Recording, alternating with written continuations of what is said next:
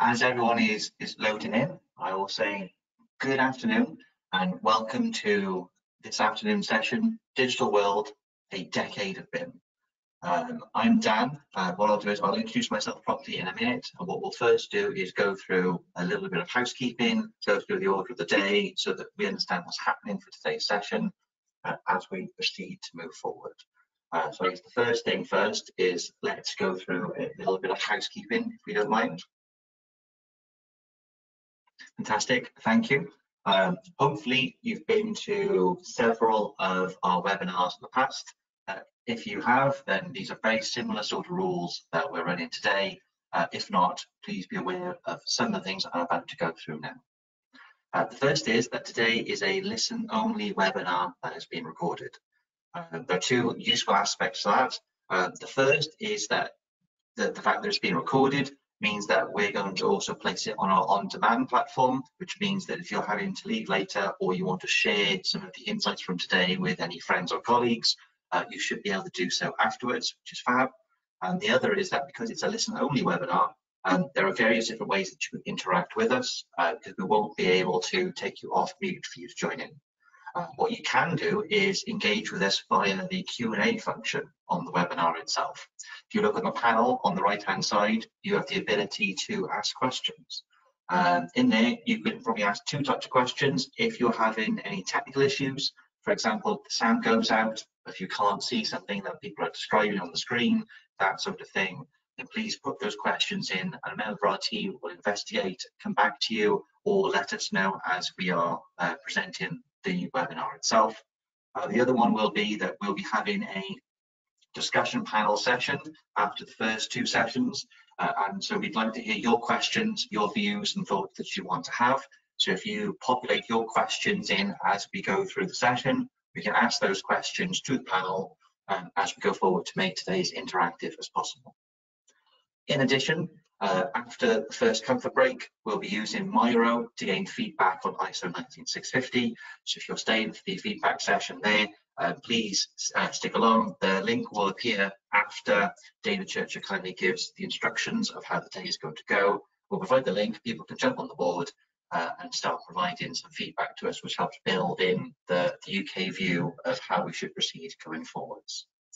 Uh, as mentioned, any technical difficulties, check them in the Q&A. Uh, and as always, with any of our BSI events, uh, after the event itself, you'll receive an email asking you to complete the feedback survey. If you do complete the feedback survey, you'll be able to get access to a CPD certificate, so you can register this as professional development, as well as then access the recording afterwards as well. So those feedbacks are very valuable for us to help make our events better and also provide you access to things like a CPD certificate and those links there too. Uh, so all in all, useful for everyone. So I think really from a housekeeping point of view, that is probably more than enough there. Uh, so what I'll do is I'll introduce myself properly. Um, so I'm Dan Rossiter, one of the built environment sector leads here at BSI, the British Standards Institution. Uh, and just to give you a small kind of snapshot as to why this event has come about, uh, and it's come through the realization of when a colleague spoke to me uh, and mentioned that it's been 10 years since PAS 1192 Part 2 was published. And I think on hearing that fact, I immediately felt very old, uh, realizing that where, where, where's 10 years gone? Uh, and after a short spiral, um, then started to think about actually about how much things have changed uh, and how lots of new technology, new processes, and how sort of everything has kind of had an impact since then.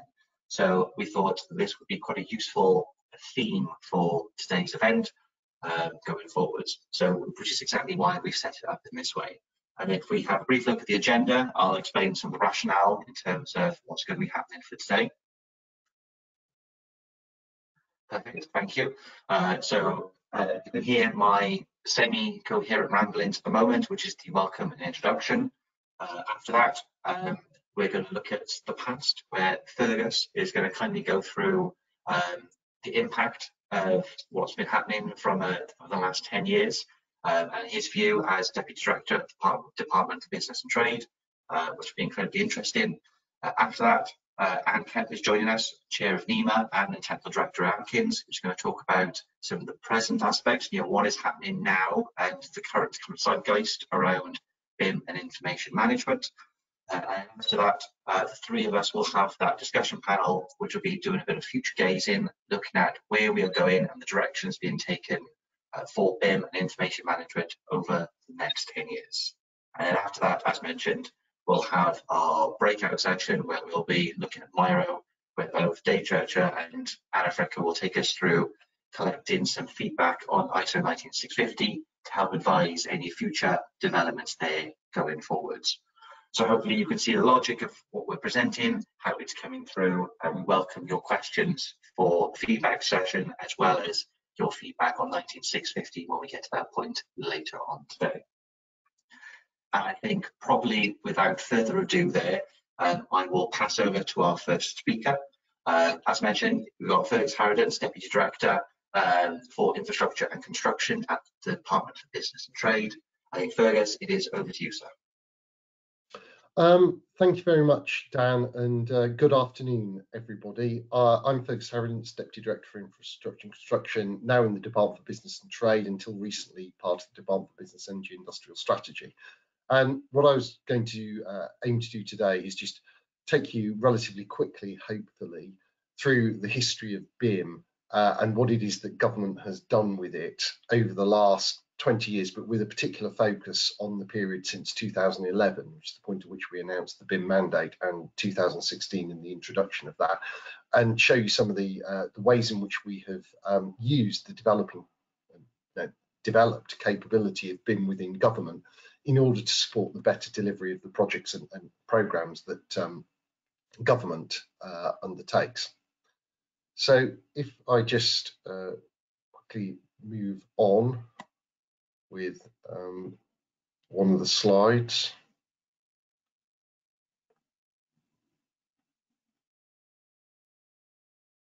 Sorry, there appears to be a little bit of a problem moving this on. That's right, folks. If you try, if you try clicking in the middle of the screen. Oh, sorry. Let's try. Let's try and then try using data. Ah, excellent. Great, thank you. Um, okay, trying to get this back on track. Uh, so the use of computer-aided design for buildings did actually originate in the 1950s uh, and it developed through the 1960s and, and 1970s, but it, it, really only started to, to take off this century. And that began in, in with the, the development of BIM and the concept of different levels of BIM, starting with, with BIM level zero to BIM levels one, two, and to three, all of which were characterized by a combination of a, greater level of development of the technology and the technological capability, but also actually some of the um, organizational factors around that. So, for example, the, the, level of collaboration between organizations within the supply chain and uh, collaboration between um, the client, the prime contractor, and other firms, and their ability to use BIM as a tool to overcome some of the traditional challenges that we've seen in the construction sector, particularly in relation to, to the sharing of accurate information, uh, agreeing designs, resolving conflicts, and that kind of thing. So in 2007, um, that was when the BS 1192 standard was actually defined, and that, that was a huge step forward as far as government and I think the private sector was concerned because you actually did have a defined standard that everyone could understand and be accredited to and it was something that you could utilize and specify in contractual and other documentation or could form the basis of discussions with, with firms in the market if you're um, as part of a market sounding or supply chain engagement exercise and use this as a way of setting expectations about the level of capability and the, the quality of the output that we wanted to see in relation to the development of BIM. And the things I think that really uh, accelerated the development of BIM were government's desire to make construction more reliable in terms of cost and the schedule of delivery, but also our increasing focus on improving sustainability and in particular reducing the level of carbon emissions linked to construction, given that the built environment accounts for about 40% of all carbon emissions in the UK and therefore, if you are going to decarbonise the UK economy, you have to address some of the challenges in the built environment. and particularly when it comes to new buildings and infrastructure, although increasingly this applies to, to existing buildings as well, as well. BIM is a very, very powerful tool in giving you the capability to rapidly design and, and assess the likely um, impact of uh, various buildings or infrastructure uh, in relation to, to their sustainability and being able to reduce those carbon emissions. Um, then in 2011, this was the first time that government did actually formally adopt BIM as a requirement for the delivery uh, of uh, government construction pro projects. When we announced in that we would be introducing the BIM mandate, um, which came into full effect in 2016, the five-year period, that was really preparatory phase. But we signalled our intention clearly to the market by saying, this is what we wanted to do now, but we would absolutely insist upon it by the time that we reached um, 2016. And what had happened over the, the, the, subsequent years, starting in 2015, where the, the PAS 1192.2 standard was developed, is that we've worked with the BSI, we've worked with other organisations in the industry to try and ensure that the UK is at the forefront of BIM development. And it's, it's not just um, in relation to um, BIM the development of BIM technologies, it's in relation to the development of some of the, the, the wider organisation processes and approach. So uh, as you can see, the um, there was a, a, a, number of iterations of the the, the uh, PAS uh, 1192 standard, the development of the, the uh, BIS 90, sorry, the, the BS 1192 standard as well. Um, and ultimately that led to uh, the UK engaging um, very successfully in, with the International Standards Organization um, and securing the ISO 19650 standard, which we, we here on developing. Sorry, could you slip back one slide? Um, uh, so in parallel though, we were trying to ensure that we were able to work jointly with the industry and also across the, the wider public sector in order to ensure that we were making maximum use of, of BIM capability. So in 2015, we set a, a, clear direction through the publication of the Digital uh, Britain strategy, um, this was just before the BIM level two mandate entered into force. In 2016, we created the, the UK BIM Alliance, working with industry. We also had parallel groups across local government and the home nations with the uh, aim of getting everybody to work collectively towards a common objective, which is building our national BIM capability, supporting the um, adoption of BIM technologies, and then looking to the future fully integrating BIM and the wider concept of information management into our business as usual processes when it came to the, the development and the delivery of construction uh, projects and programs. So where we have reached now is um, a position where we have, I think, largely embedded BIM in the, um, the development, in, in, the delivery of government policy and programs. Sorry, uh, it doesn't seem to be moving on.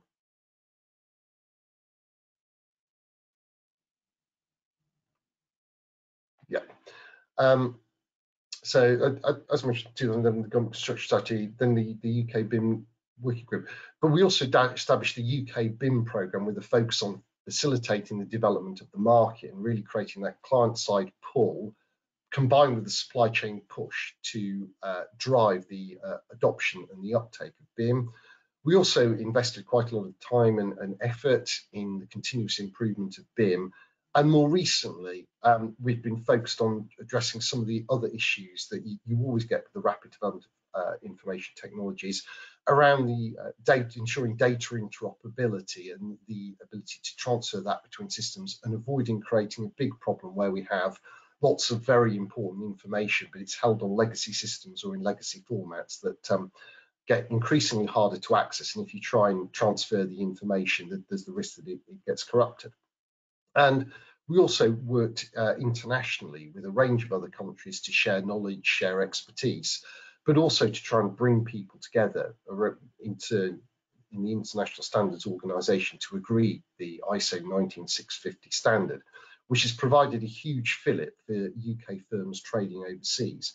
And we've seen UK firms um, use the knowledge and expertise that they gained here and as a result of the BIM mandate to export this service very successfully to areas of the world like Latin America or East Asia, where traditionally British exporters have not done um, particularly well compared to uh, firms from other countries. So it, it's something where the UK has developed and is seen to have developed a, a strong competitive advantage compared to, to, to many other organisations. And that's something that we, we're committed to retaining in future, which is why we are um, looking to the, the future and the next generation of uh, digital programs in relation to built environment, particularly the UK National Digital Twin Programme, which we, we established in, in 2017 um, following the publication of the Data for the Public Good report by the National Infrastructure Commission, which is a long-term, very ambitious programme that will ultimately aim to digitalise and then digitally connect all significant buildings and infrastructure within the UK, which will give us uh, an incredible potential uh, to manage the built environment in a holistic way. And uh, we've also um, tried to put the uh, uh, in, ensure that BIM is fully reflected in some key policy documents like the, the construction playbook. So can we move one slide on? Um, and if I just uh, quote um, some of the, the, the, the text from this, we've been clear in it that contracting authorities should use the UK BIM framework to standardise the approach to generating and classifying data and also manage issues such as data security and data exchange. We need to embed digital technologies, including the UK BIM framework. We're doing this to improve the performance, sustainability, and value of money for money, the projects and programs. And post Grenfell the introduction of the Building Safety Act, the UK BIM framework is absolutely critical to the delivery of the golden thread of building information that needs to be developed by the designer, contractor, and then ultimately owned by the operator of any high risk residential buildings. And I think that the fact that we're able to do this in relation to high risk residential buildings is something that is going to inform wider construction practice. And what we will increasingly see across the industry is that even those buildings and infrastructure that are not within the scope of the Act are being built to the same standards and they will have the same level of digitised information held about them that will be updated over their life cycle as high risk residential buildings. And we also wanted to make sure that these were, um, the, the BIM was properly embedded in contracts uh, as part of our focus on improving the contractual terms of these and ensuring that contracts do support the outcomes that we want to achieve from projects and programs. And that includes very much the outcome of producing high quality data and information that we can use within government and potentially make more widely available across society for people to use in various ways, whether it's improving public services or it's in, in generating economic value in one way or another. Um, next slide, please. And then finally, uh, I wanted to end by, by pointing to, to the future and what it is we're, we're trying to achieve. Um, the picture that you see now was something that we developed as our vision for the built environment as part of uh, the Transforming Infrastructure Performance Roadmap to 2030 that we published in 2021. And this is probably the single most ambitious vision that government has set for how it wants to manage the built environment uh, in, in over a quarter of a century. And what we are really attempting to do with this is say the built environment exists to deliver the societal outcomes that we want to achieve. Here, um, the UN Sustainable Development Goals. Um, sitting below that are the policies that government introduces uh, in order to achieve those objectives. And a lot of those obviously relate to investment in not just the physical aspects of the built environment, but the services that it delivers as well. Below that, you have a decision-making layer where individuals take decisions about the operation of these built assets and the systems and networks that they're a part of, or the services that they provide with a view to optimizing these, and also decisions about new investments and new construction projects that they want to make as well as the relationship between the built environment and the natural environment. And all of this collectively comprises a very complex system of systems that at the moment we don't adequately understand and therefore we can't optimize and we can't ensure that clear line of sight between the societal outcomes that we want and the individual actions that are being taken um, in relation to public services or to various assets that we manage. And we want to change that and be able to take those decisions based on a clear understanding of what is going to happen in relation to a particular asset if we intervene in a certain way, but also what the consequences are for the wider systems that it's part of, the interaction of those with other systems, and then also on the built environment. And clearly, the only way that we can do this is if we comprehensively digitize the built environment, parts of the natural environment, and the services that we provide. And BIM and the information that we derive about the built environment is absolutely going to be at the heart of this process. And it's going to be one of the things that feeds an incredibly valuable source of data into this structure. And it enables us to make better decisions that uh, represent better value for money for the taxpayer, optimize the operation of the built environment and, and services, and ultimately contribute to improving the uh, environment, supporting sustainable economic growth, and delivering some of the social outcomes in terms of better health and better education that we want to see. So I, I will stop there uh, and I will hand over to uh, Anne Kemp, uh, the chair of nima and technical director at Atkins, who will, will talk about where we are in relation to, to BIM now. Okay, thank you very much for that, um, Fergus. Uh, so yeah, I'm really pleased to be able to be with you today. Um, and I think exploring now, um, if you can move to the next slide, please, um, what, what that means in practice. Uh, what we're really driving at here is better information management across the whole of the built and the natural environment. So building on what Fergus has presented, the experiences over the last uh, 10 years and more of what needs to happen on the ground. Next slide, please. So, yeah, brutal although though it may seem, uh, I think still from a construction perspective, uh, industry perspective, we're seen very much as being an inefficient and a misaligned industry.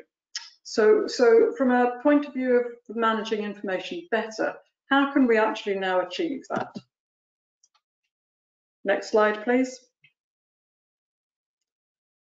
And what it, what, what it essentially has led to, um, simplistically perhaps, but I think we all agree that there is an aging and rather creaking infrastructure.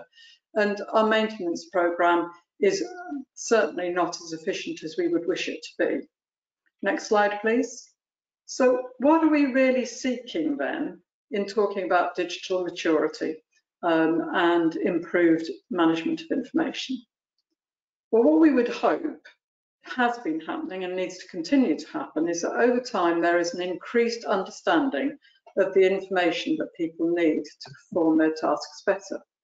That may be, for instance, uh, from the fire safety perspective and uh, the golden thread um, that's being discussed following the Grenfell.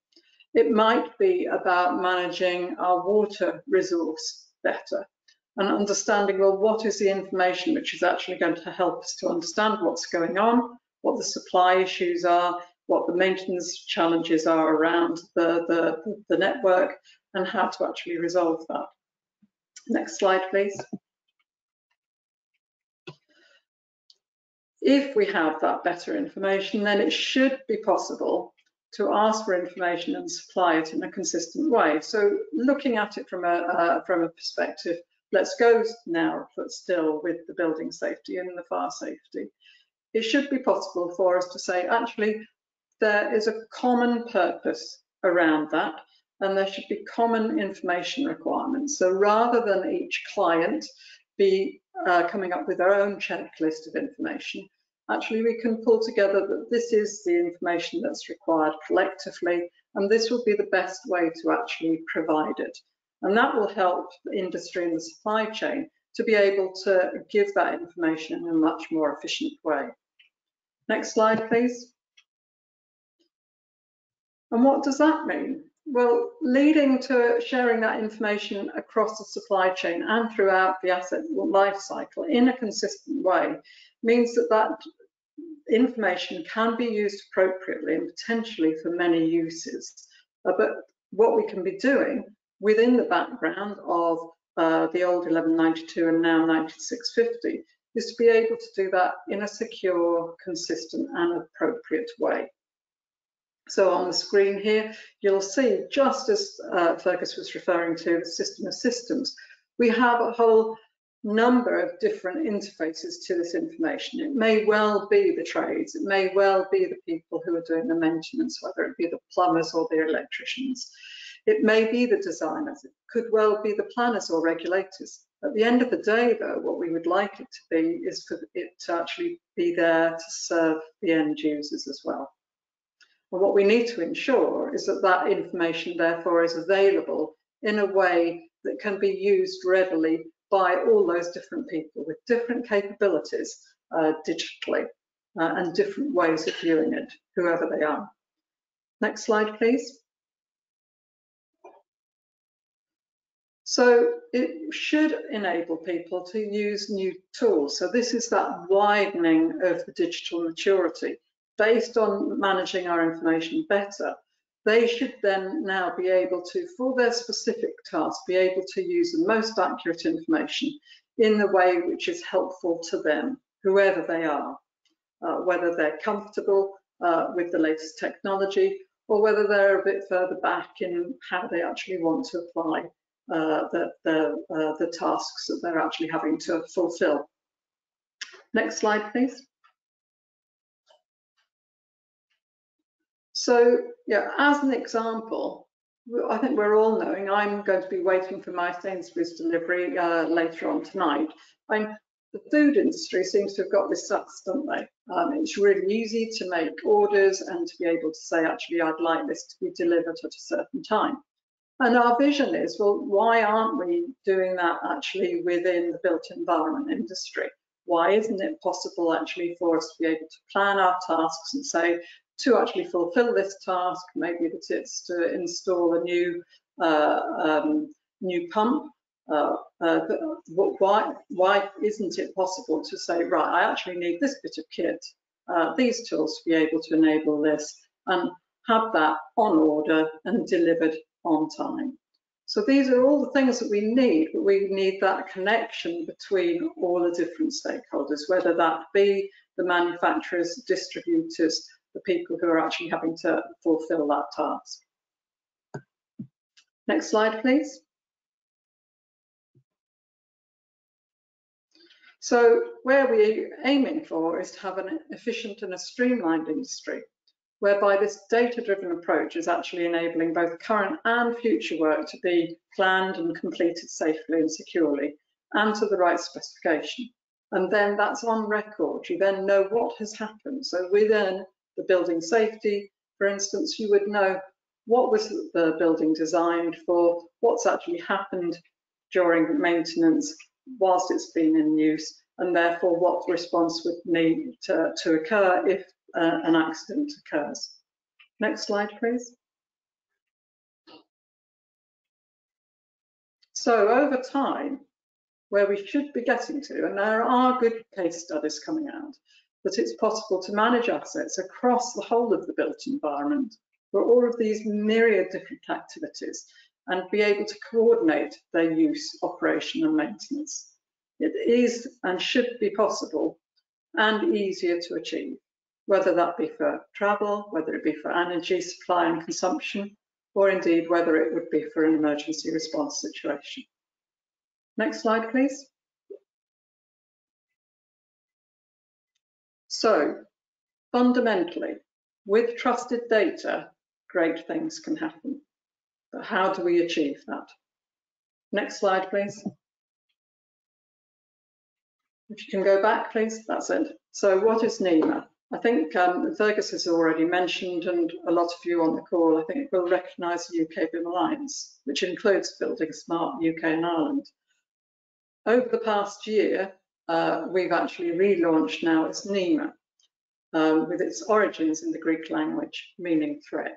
And the reason why we've done this is that we've, in trying to actually explain how to manage information better across the whole of the built environment, for better or worse, the term BIM had become misunderstood, misused, and wasn't helping us engage with the, the whole life management of the built environment. So the facilities management, asset management would say, oh, well, that's just design and construction. It's not relevant to us. Now, although our intent, certainly with the development of uh, the ISO 19650 series, is that it's whole life, it was clearly holding us back in being able to help people to engage and say, oh, okay, I understand the relevance now. Can you help me to implement that? So that's really what's motivated the change in May. Next slide, please. So what are we about? Our ultimate vision, very much as Fergus has described, is a thriving and sustainable, built and natural environment which is transformed by exploiting purpose-driven data. So it's not for the sake of information management, certainly not what motivates me, but if we can look at purpose and then say, to actually achieve that, I need this specific information and how I need that information. It can really transform what we can achieve. Next slide, please. So our mission as nima is on a number of fronts. We do want to inspire, we do want to influence, but importantly, we want to connect across the industry and support everyone who's active in the built environment and enable them to better manage the information, which is vital to so many of the challenges and needs of our times. So we've got a number of different things that we want to be achieving. Next slide, please.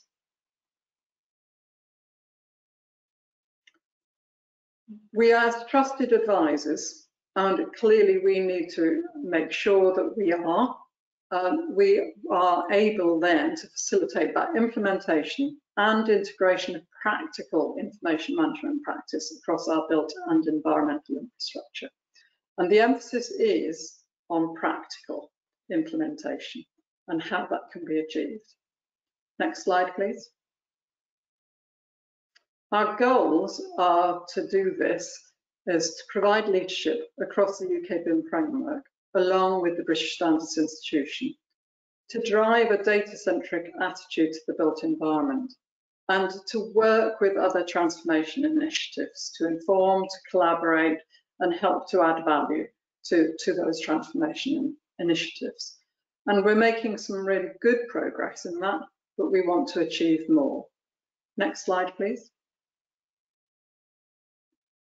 So starting with the UK BIM framework. So obviously this is a BSI uh, webinar, um, and we're working really hard across BSI and nima to ensure that the UK BIM framework is robust and it really is the overarching approach to implementing information management using uh, what we've inherited from BIM in the UK. And the framework itself consists of standards, guidance and resources, all available on the website. Next slide, please. Currently, the standards set out within the UK BIM framework are as follows. If you can press uh, forward, please. You should get a list of those. Um, so you'll see that over the past um, five or so years, actually what we've been able to do is to move the 1192 series into the ISO world. So we've got parts one, which is the concepts and principles, and then part two and three, which are really setting out how to approach better management of information across both delivery and the operational phase. A key part of this is, well, what is the information exchange? How can we actually enable that? And then part five is adding that security-minded approach. We're currently working on the health and safety part of that through ISO, which should hopefully uh, work its way through the system over the next couple of years and we've still got 8536 um, as a part of the framework. Uh, you'll uh, understand as we go forward within the webinar that we've got a systematic review uh, which will go for vote in the autumn. Uh, and this will give us an opportunity, I feel, to uh, really be able to say, okay, 9650, we've learned some of the lessons of how to make that clearer and we'll uh, make sure that those are actually uh, encompassed now within the review and the update, which will happen over the next two, three years. Next slide, please. And just as uh, Fergus had said, the UK BIM framework is referenced within the Construction Leadership Council's um, um, playbook, uh, but also in the Transforming Infrastructure Performance, there is the Information Management Mandate, which references the UK BIM framework. So currently the guidance set within the UK BIM framework includes that guidance zero now, which came out over the last year, which is really building the case, the business case for information management. And then you've got guidance on each part of the ISO 19650 series, which will be revealed as we click through. So there you are, you've got the um, guidance for each of the sections and also checklists and resources uh, for those. We've got frequently asked questions uh, on that, but I think what we're really, really keen on is that we do want you to feed back. If you see that there's anything that needs more clarification, um, that you don't understand, or even things which you know of which could really help um, uh, understanding and implementation, please do get in touch with us. Next slide, please. So for instance, if we look at guidance part D, uh, we can see how it can help with clarifications, things that we're not actually able to do within the published ISO. So if you click on the, the, the, the image coming up, uh, here you can see that what we're really after and wanting to explain is the information receiver, essentially, if we say the appointing party, the client, does need to understand well, what are the uh, purposes uh, that they're needing to address and what are the information requirements to serve those purposes. And to actually say this is how we need that information to, uh, to be exchanged.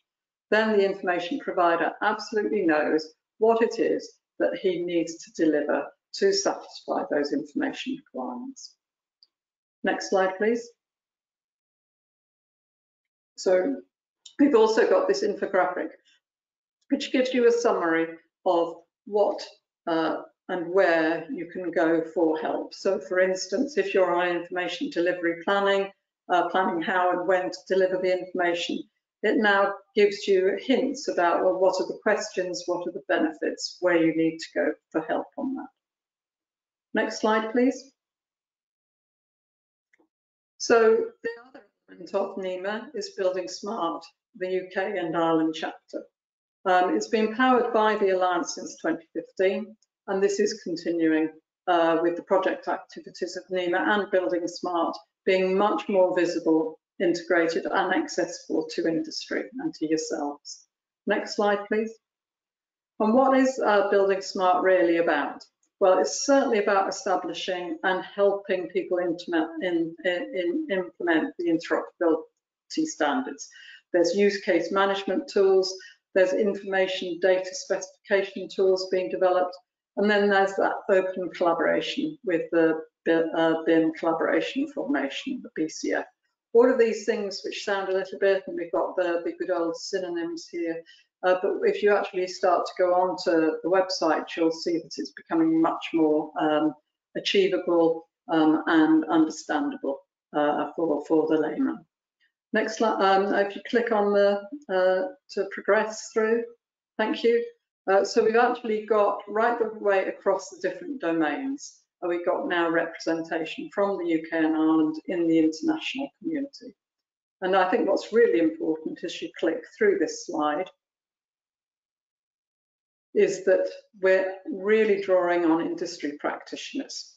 Uh, so again, it's that practitioner side of things, and it's really important if you can get involved to, to, to come in and help. So we need to be moving from theory into putting these into practice, as Fergus says, consistently across the industry. So not having the silos, but being able to have open interoperable data uh, being available to support uh, the different initiatives, just like with uh, the, the National Digital Twin Programme that Fergus was referring to. Next slide, please. There's also then the professional smart uh, uh, building smart certification, uh, which please do go on to that. So this is to really target people who are providing uh, training uh, can now get certified um, and to be able to issue that training to, to, to, to industry. And how does the interface work with nima? So nima is really focusing overall on the process ISO 19650 and the UK BIM framework, building smart on the technology side of things. So the IFC as expressed by 16739 and bringing those together and being able to implement those together really ensures that we can drive maximum value. Thank you. Next slide, please. So as I say, the domains which are being represented as we click through includes airport, building, construction itself, infrastructure, products, and the railway and regulatory, which is a new uh, domain just being kicked off. There's a technical uh, domain, which is really driving at uh, the specifics of uh, moving forward with technology. We've got the electrical and, as I say, the professional certification. Next slide, please. And then the other element of nima is the gig. Uh, so this is really focusing on helping to deliver valuable interoperable data. And there's a number of elements which have been developed over the last few years. Next slide, please. The focus here is to really close the gap between the standards and the practice. How we can do that, how we can really support industry going forward. So another, uh, a number of elements being developed as we move forward to the next slide is championing interoperability and supporting the work that Building Smart um, are moving forward on. So it's that ability to exchange and use information, ensuring that it's independent of the technology used to drive it. So as I've mentioned, having a defined purpose, having an audit trail of the information to support the golden thread, ensuring we've got quality and reliability around the information, and that it can be exchanged digitally across the contract line. And another element which I think is often forgotten or overlooked is that longevity. So how we can ensure that it can be used continuously through the whole asset life cycle and isn't left behind as technologies change. Next slide, please. So one of the things which has been developed is a specification for an information management platform. This has been uh, developed with, um, with the government departments who are still investigating this side of things and looking at how a platform can actually be brought together to actually help with the governance of this management of information. Next slide, please. The code of practice, there's been a number of uh, uh, presentations on this and encouraging the technology providers to really sign up to this to ensure that actually they buy into this interoperability code of practice for technologies. So some really good progress being made. And I know Fergus, you were at the launch um, of this earlier this year at the Institution of Civil Engineers. Next slide, please. So we've got nima, as I say, focusing very much on the UK BIM framework, driving through on uh, the initiatives uh, of uh, government over the past 10 years. We've got Building Smart, focusing on the technology, uh, for instance, IFC, the uh, industry foundation classes uh, through the ISO. And then we've got the gig. It's really helping on that practical support across the whole of the industry. Next slide, please. So as nima, we've really pushed on our online presence. So we're using uh, these all sorts of different uh, platforms, the ones you would probably expect uh, on the website, uh, through uh, Twitter and LinkedIn, but we're also pushing through Instagram, TikTok, Spotify. And part of this is to ensure that we're really reaching the widest uh, um, group of people that we possibly can, including the people who are moving in from, from schools, universities, and indeed from apprenticeships. Next slide, please. So when we're developing success stories, um, And these don't need to be, and I think it's really important to emphasise this, this doesn't need to be, um, you know, implementing all of the UK BIM framework and the 19650 and so forth all at once. Even if it's a small slice, a nugget of that this has really worked for us and show, showing the benefit and being honest about some of the challenges. These are the ones we're really wanting to talk about. Uh, so please do get in touch if you feel that you've got a good success story, uh, which will help other people. This is, this is again, what we're really wanting to do is to help each other, help each other, if, if I can put it quite that way. All right, next slide, please. So the sorts of new relationships that we're developing, uh, we've got Zero now, a new affiliate member with collaboration, bringing IM to decarbonisation.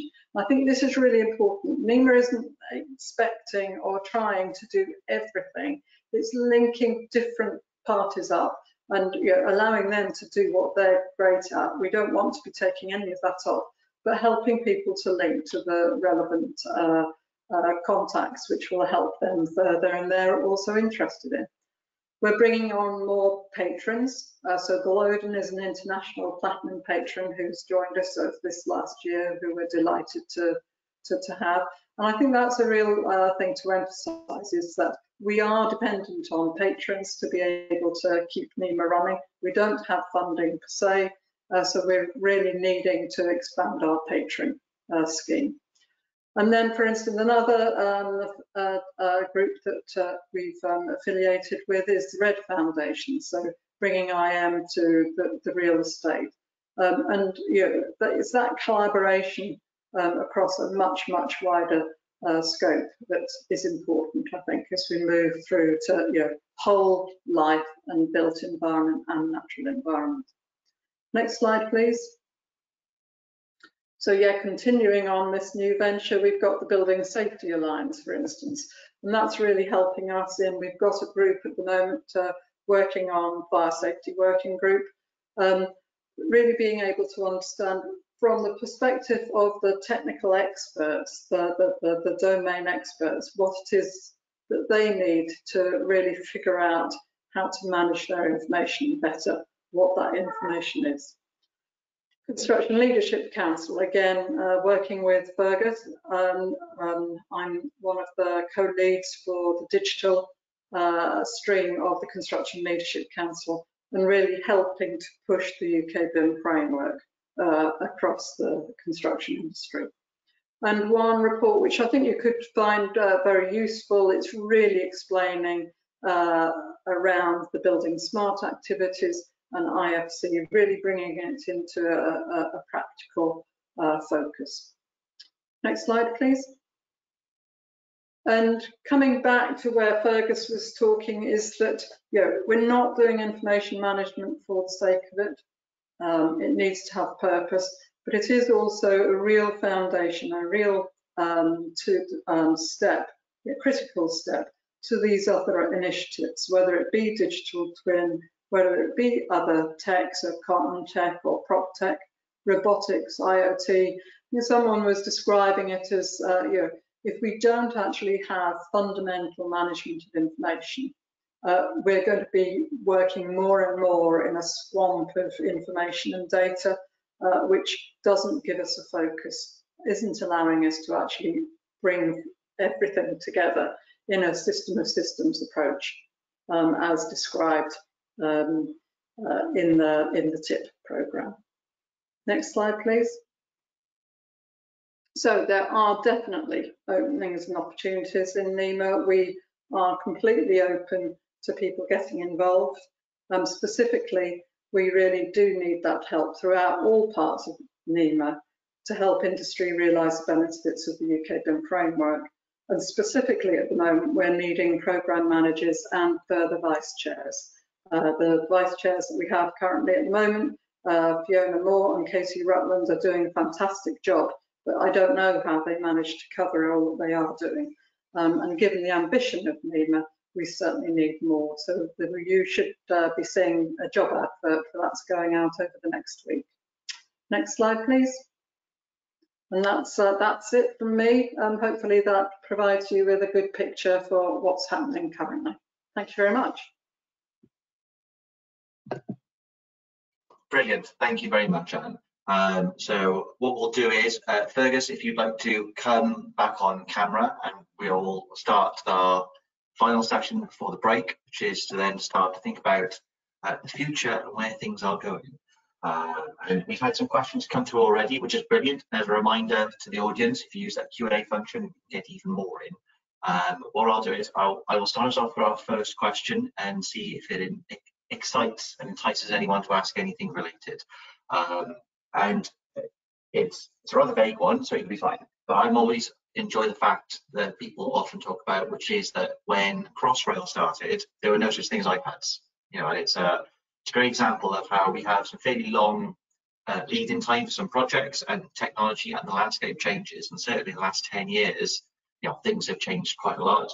So I'm guessing that I will, I will start with you, Fergus, just to kind of uh, prompt you um, so you can start thinking of your answer as I finish my ramblings, is where do you see where do you see us in 10 years time given that you know well 20 years ago some of the tech we were using didn't even exist. So what what could be in place that isn't there today and where do you see the direction we're taking things like BIM and information management uh, going forwards and what it might look like in 10 years time um, I, I think it's it's going to be a hugely exciting decade in terms of digitization of the built environment. I mean, if you, you look at what's going on within firms uh, and also within the research base in terms of the development of the next generation of technologies, I think that what we are going to see is that uh, digitized technologies, everything from sensors to data analytics to artificial intelligence, AR, VR,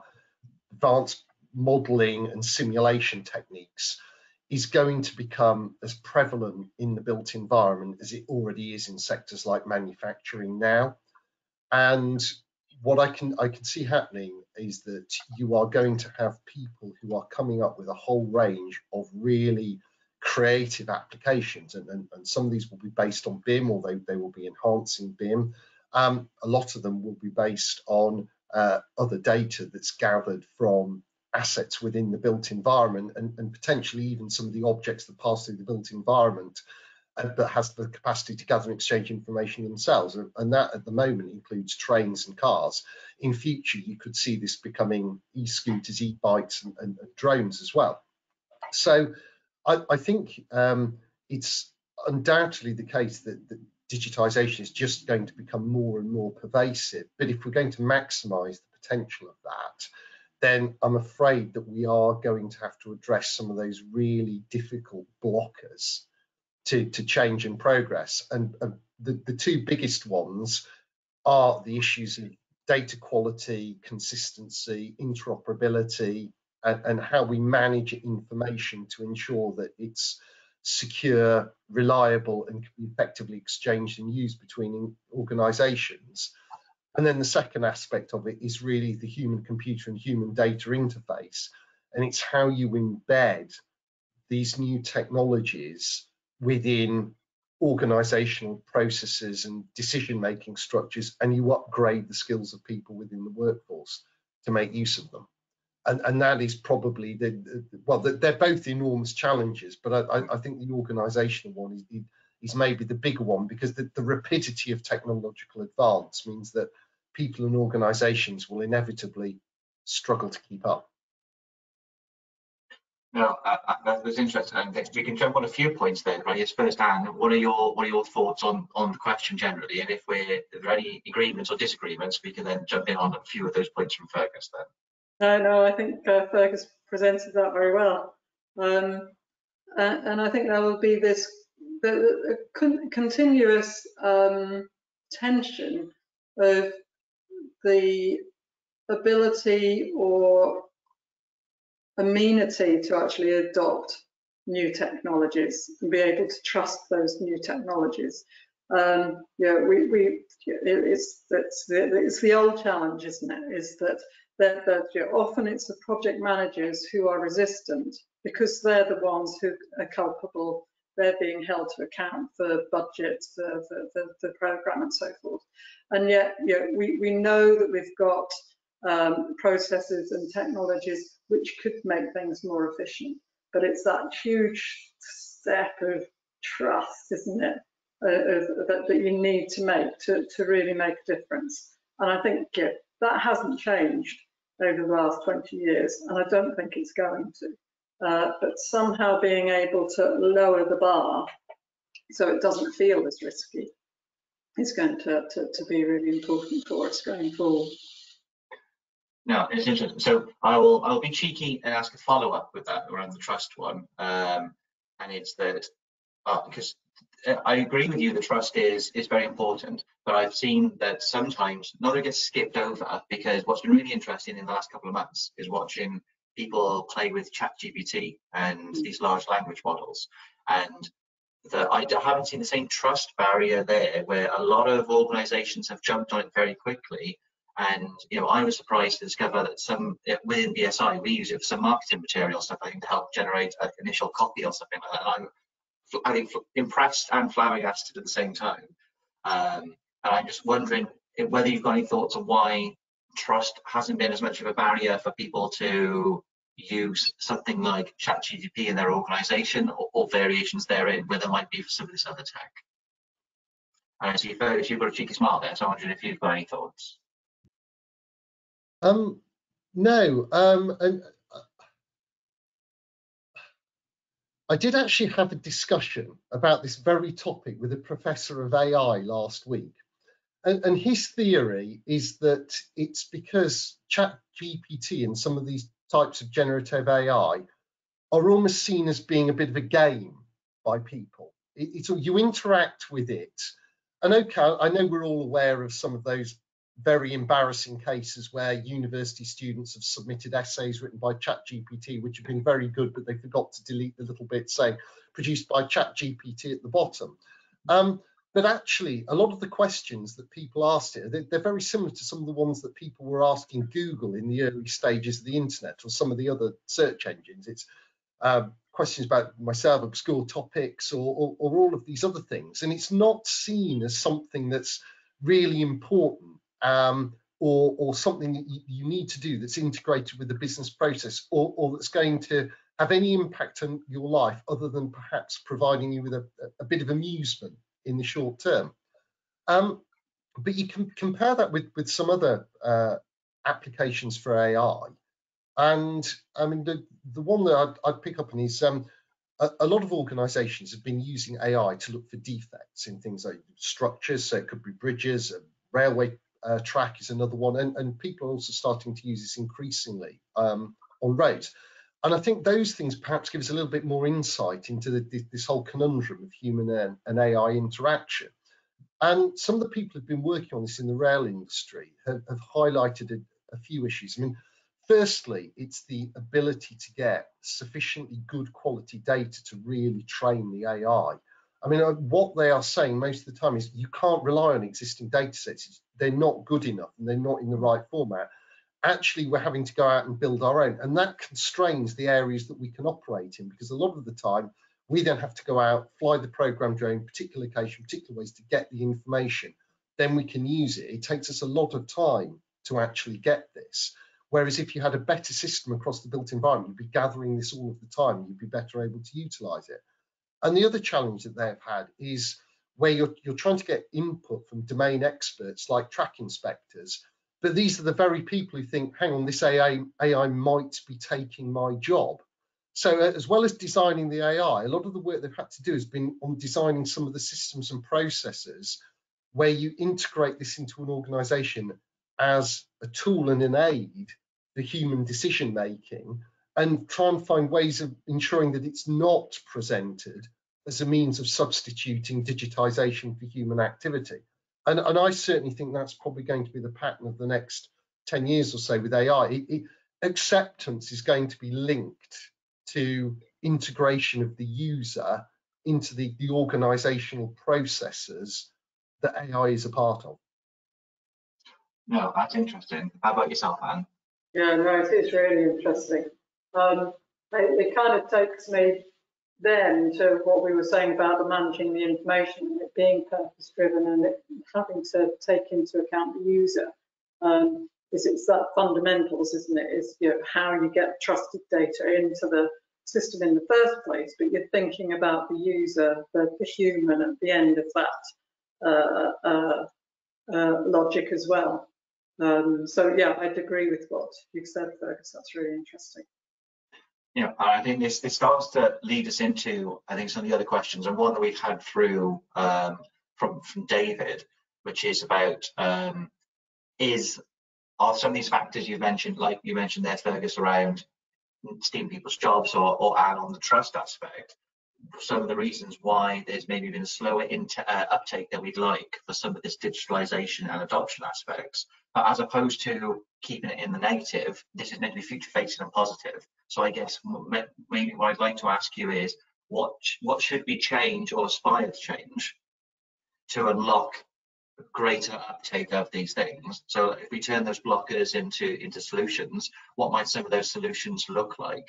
And you know, my my more in one which eh, you know would, would be changing how we do procurement perhaps, and you know, mm. less adversarial procurement and maybe even shifting mm. away from charge by hour activities because in that way, and as a couple of you mentioned in the questions, you know, some of that encourages efficiency and, and speed over quality and actually things like the value toolkit and those sort of things help pull that direction.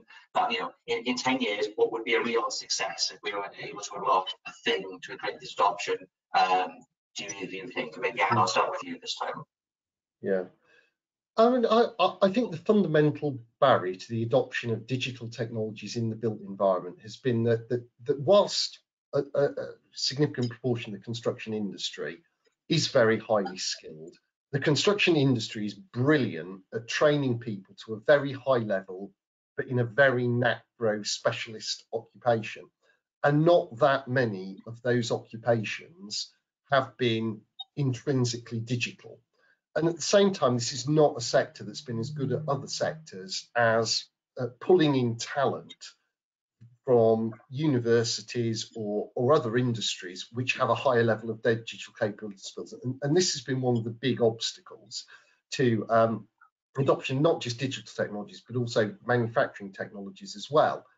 In, in terms of what will change that, what will change that, I think, is the fact that the built environment is so big as a sector, it's so important, there's so much scope for people to do things in it that if we can um, provide the right routes in to the industry and to the, the, the public sector and all the, the, the other stakeholder organisations, um, there is such potential here for people to do fantastically creative, rewarding things um, in their professional careers that I, I, think the built environment could have a much more powerful um, message or mar marketing appeal, I guess it is, to people um, who have got these qualifications because they think actually that there's far more scope for me to work in the built environment and do things that are genuinely going to, to, to change things and have an influence, have a real impact,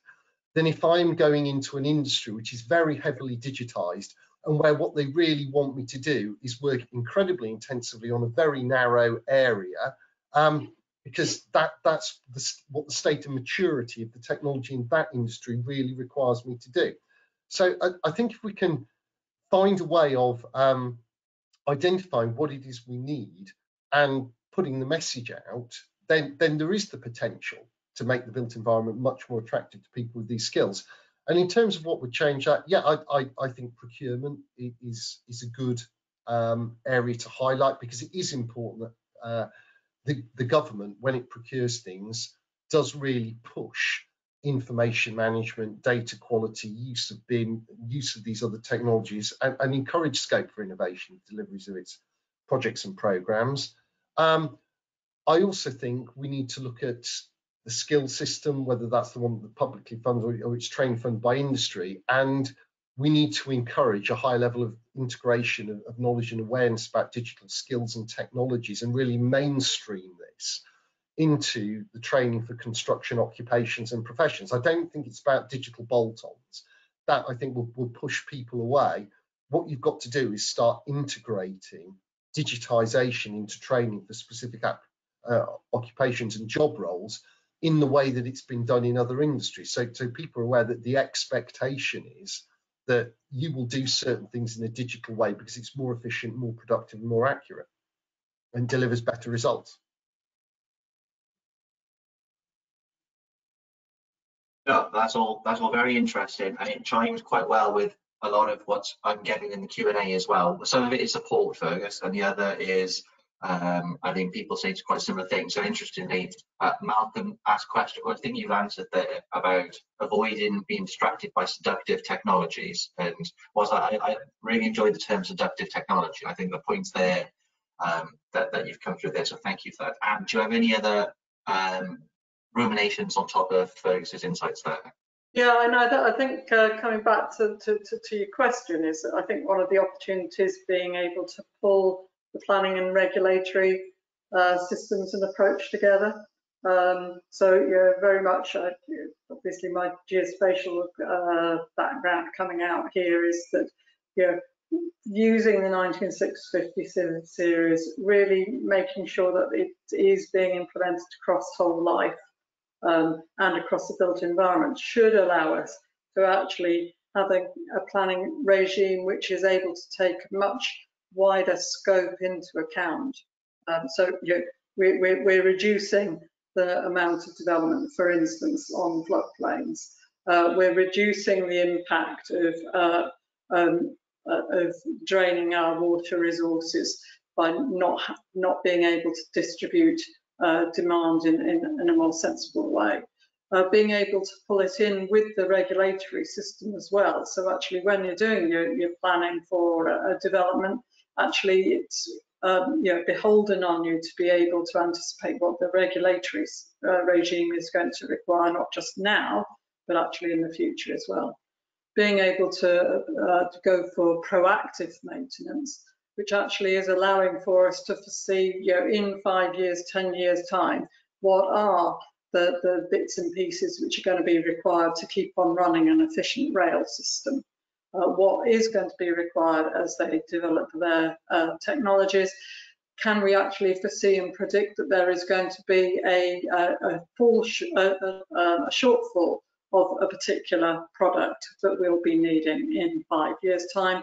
or you know, if we're looking at climate change, you know, what, what's going to be really putting a strain on the system overall that we really need to be putting uh, into place uh, with, uh, within the planning regime. So I think the exciting side of things is that as we pull all of this together, we should be able to get much uh, better decisions in a way that we've not been able to achieve so far. No, that's really interesting. And again, know, that it chimes well with some of the questions I'm seeing coming through. Um, and a, a follow on, which if you wouldn't mind jumping straight back on here, is that I think Anthony's asked about um, mandating industry specific information requirements. Like it's in a way, if you're talking about this idea of there's there there are let, us call them UK PLC use cases almost, where it is information that we need to have and manage. And the example that you gave there, maybe about material scarcity, could be one of them to manage, you know, the supply chain distribution there.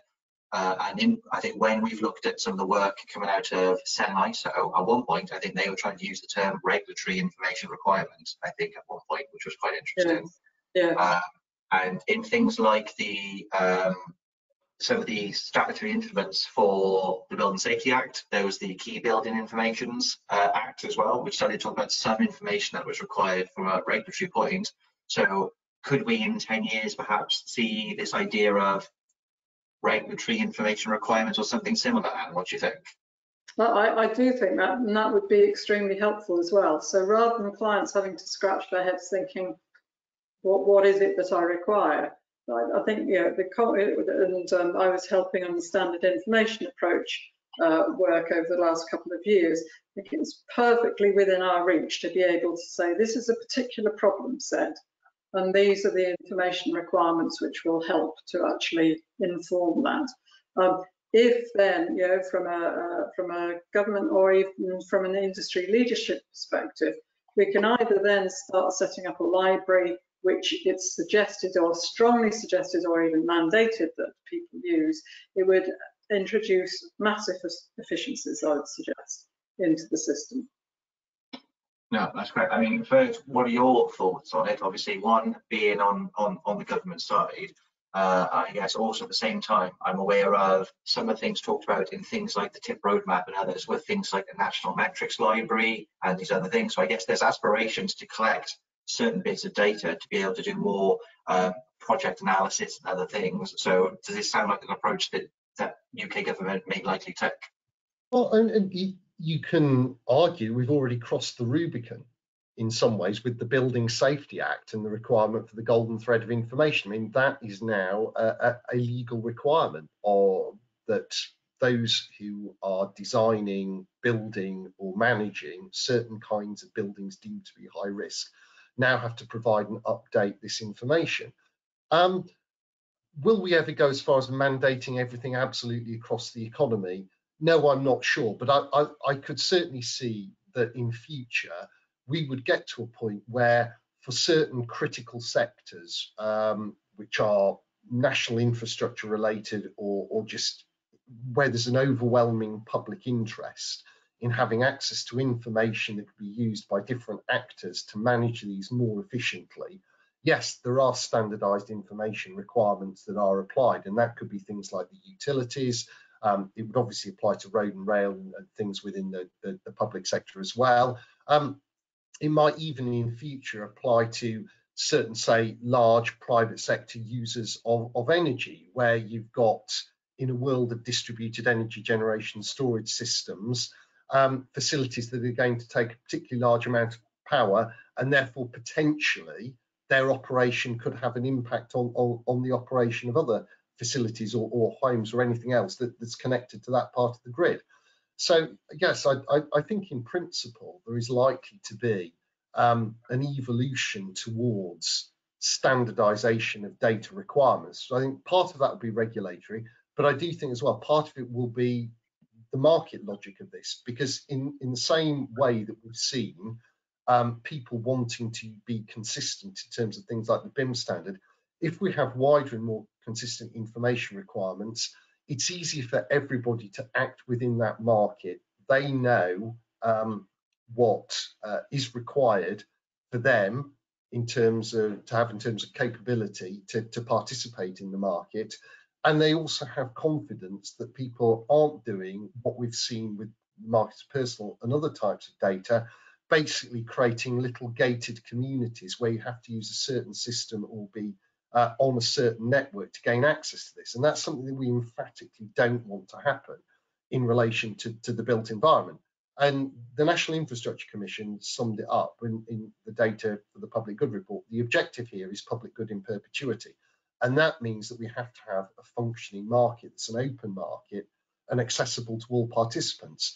And having standardized data requirements and a clear set of, of, of regulatory rules and guidelines, standards and other things that, that um, frame the operation of that market and set, the parameters for the people within it, I think ultimately is something that, that people will see as beneficial and support.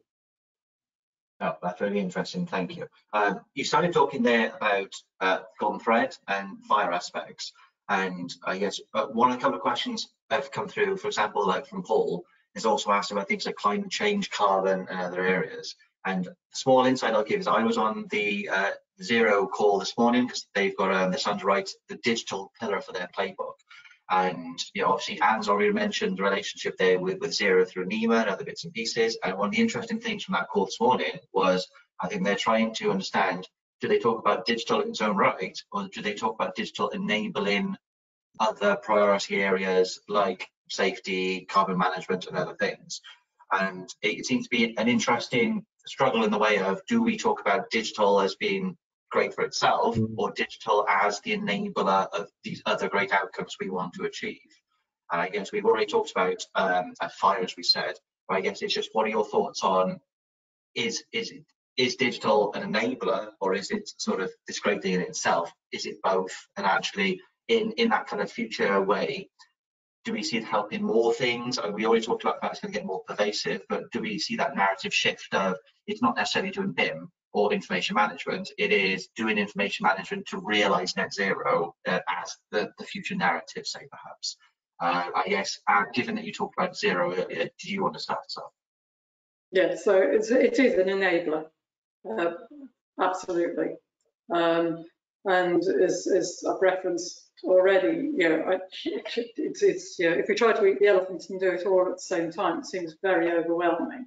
But if we can be looking at, you know, the building safety side of things, uh, zero and the carbon decarbonisation side of things and just gradually build out, if you like, this library of information requirements.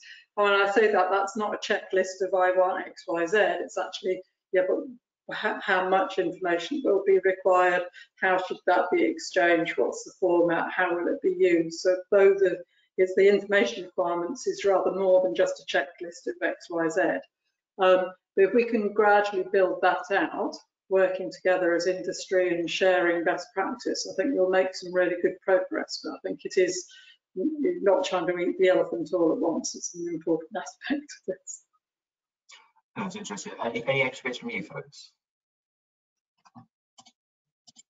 No, I mean, I, I think Anna's really covered everything. I mean, I, I think it is important that we we understand that, that digital is definitely an enabler, and yes, I mean, there, there will always be a, a, group of people that do want to push on with the, the, development of digital technology and make them ever more sophisticated, and, and that is important. But the real value of any innovation comes from widespread adoption. This is Innovation Economics 101. And it's important that we don't lose that connection with um, individuals and with organizations who are going to be the people who need to use these systems really efficiently and effectively if they are going to be better at doing their jobs and get the benefits uh, of using these technologies themselves, but also for society more widely. No, that's great. Thank you. Uh, I'm conscious of time because this has gone incredibly quickly and we only have about five minutes left for this session. Uh, we started on time. I'm, I'm amazed that we, have almost got through half an hour. Um, but what I will do is uh, I've got try and squeeze two more questions in. One is your final thoughts, so you can start to coalesce those as we go now. Um, one or two questions have come in about how in the next 10 years we can promote things like adoption in other sectors and industries and, and get more of that happening. And some of the questions, and, and these aren't plans, Sam, I promise, I've been about terminology and plain language and, and those sort of aspects to it. I think one example was almost things like, you know, BEP, MIDP, and those sort of elements and those sort of things. And actually, if we're trying to to improve adoption and stuff, do we think going towards plainer language may be a way to get there? Um, not saying anything particular needs to go or stay, but that plainer language element is, is a thought of getting someone like the facility managers and the asset managers more involved in the digital option as an example.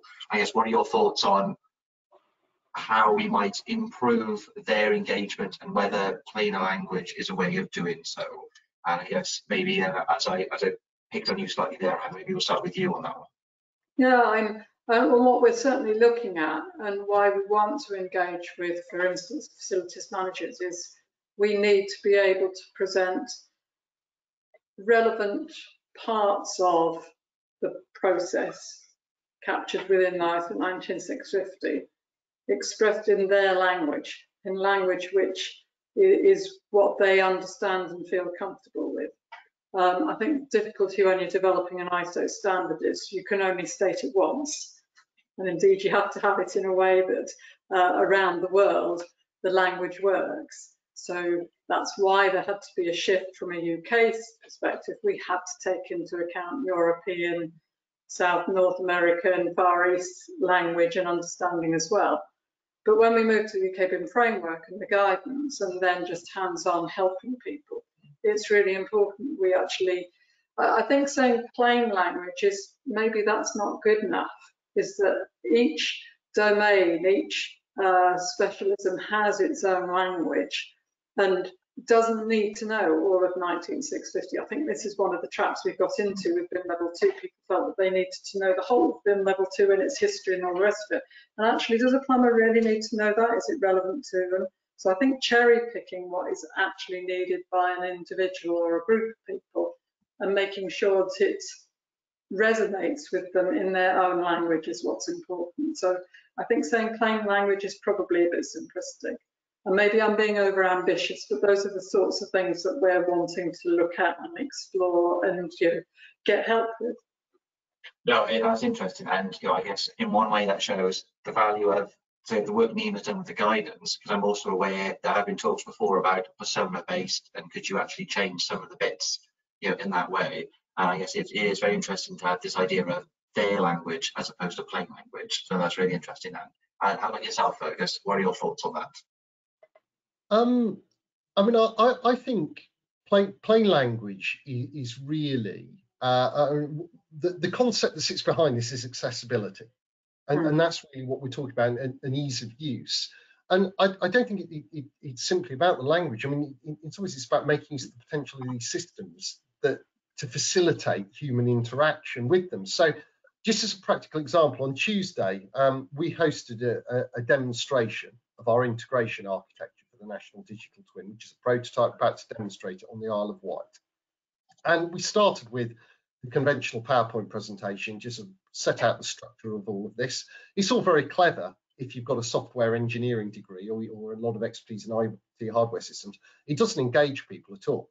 Then we moved on to some of the, the, the, the more basic data analysis of this. And, one of the things that we were looking at was um, an assessment of energy efficiency of properties on the Isle of Wight that's gathered from open data sources. And you've got a little chart and you superimpose it on a crude map of the island people think it's a bit more interesting, but they don't get really engaged with it. Then you run this data set through a gaming engine and you get computer game quality graphics and projections of these homes onto a realistic map of the Isle of Wight. And the energy in the room just goes like this immediately. The level of engagement goes up 100% in a matter of 30 seconds because people just look at this stuff and think, wow, that's so easy to use, it's so easy to interface with, and I understand what you're saying now. So actually, if you, you, think about this from the user perspective, and you make these systems intuitive and engaging, you maximize the potential of the technologies, you will get user buy-in into it. Oh, that's great, thank you. And then as we are we are technically one minute over, but as it's my event, I can I can flex the timing as I like.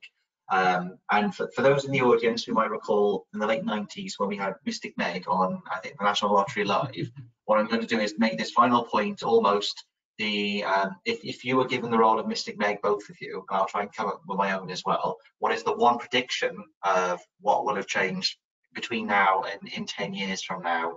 And what I warn you is, is that when we do this event in 10 years time, I'll replay yeah. this part of the video and we will test to see how accurate we were. Um, so maybe, Anne, we'll start with you uh, as I desperately try to think of what my 10 year prediction will be. So I have great faith in the um, uh, generations following us. Um, and I think the sense I have is that the level of awareness and responsibility they have and the understanding of that the world is actually a very complex uh, interaction of numerous systems which need to be understood together. I think some of the things that we have made really hard work won't be there anymore because they'll come from it from a very different, if you like, philosophical position than we have. So I'm hoping that uh, we will be able to hand over some of the good in our inheritance, but actually I have great faith in the generations coming. Hmm. Thank you. Fergus, how about yourself?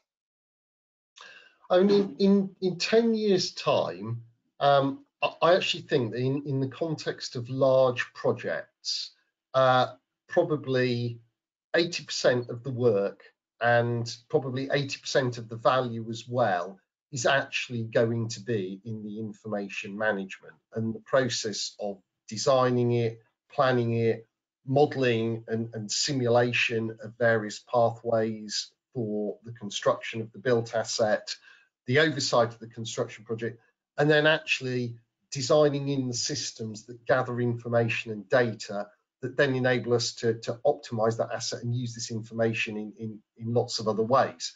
And actually, in some ways, I think the physical infrastructure, um, yes, it's going to still add quite a lot of value to society. It's going to be important for a whole range of reasons. but actually what investors, asset managers and others are increasingly going to focus on, what their, their strategies from obtaining value from their investment are going to be based on is around the management of information and the creative use of data. And I think that's going to be an absolutely massive shift for sectors like um, property development, as well as infrastructure and other asset management and financial services as, as the backers of this. I think it's going to be absolutely transformational. Yeah, fantastic. Thank you. And uh, my, my my punt will be that uh, I think the next generation are going to break procurement in the next 10 years. And I think that given how many of them have have gone through university and stuff now hearing about great things like insurance back alliancing and you know those sorts of more collaborative models i think once once they get into management positions over the next five you know five ten years they'll be in the position to say well actually i don't want to do it the old way. I want to this is how i want to do it. I think something will break as that the the critical mass shifts on those things and i remember 10 years ago saying i thought that construction management forms of contract would become the default because of things like BIM and, and PAS 1192, because I thought clients had to be sufficiently intelligent that surely they wouldn't want to use a tier one. They'd want to control it and everything else. And unfortunately, I was proved wrong then as I am now.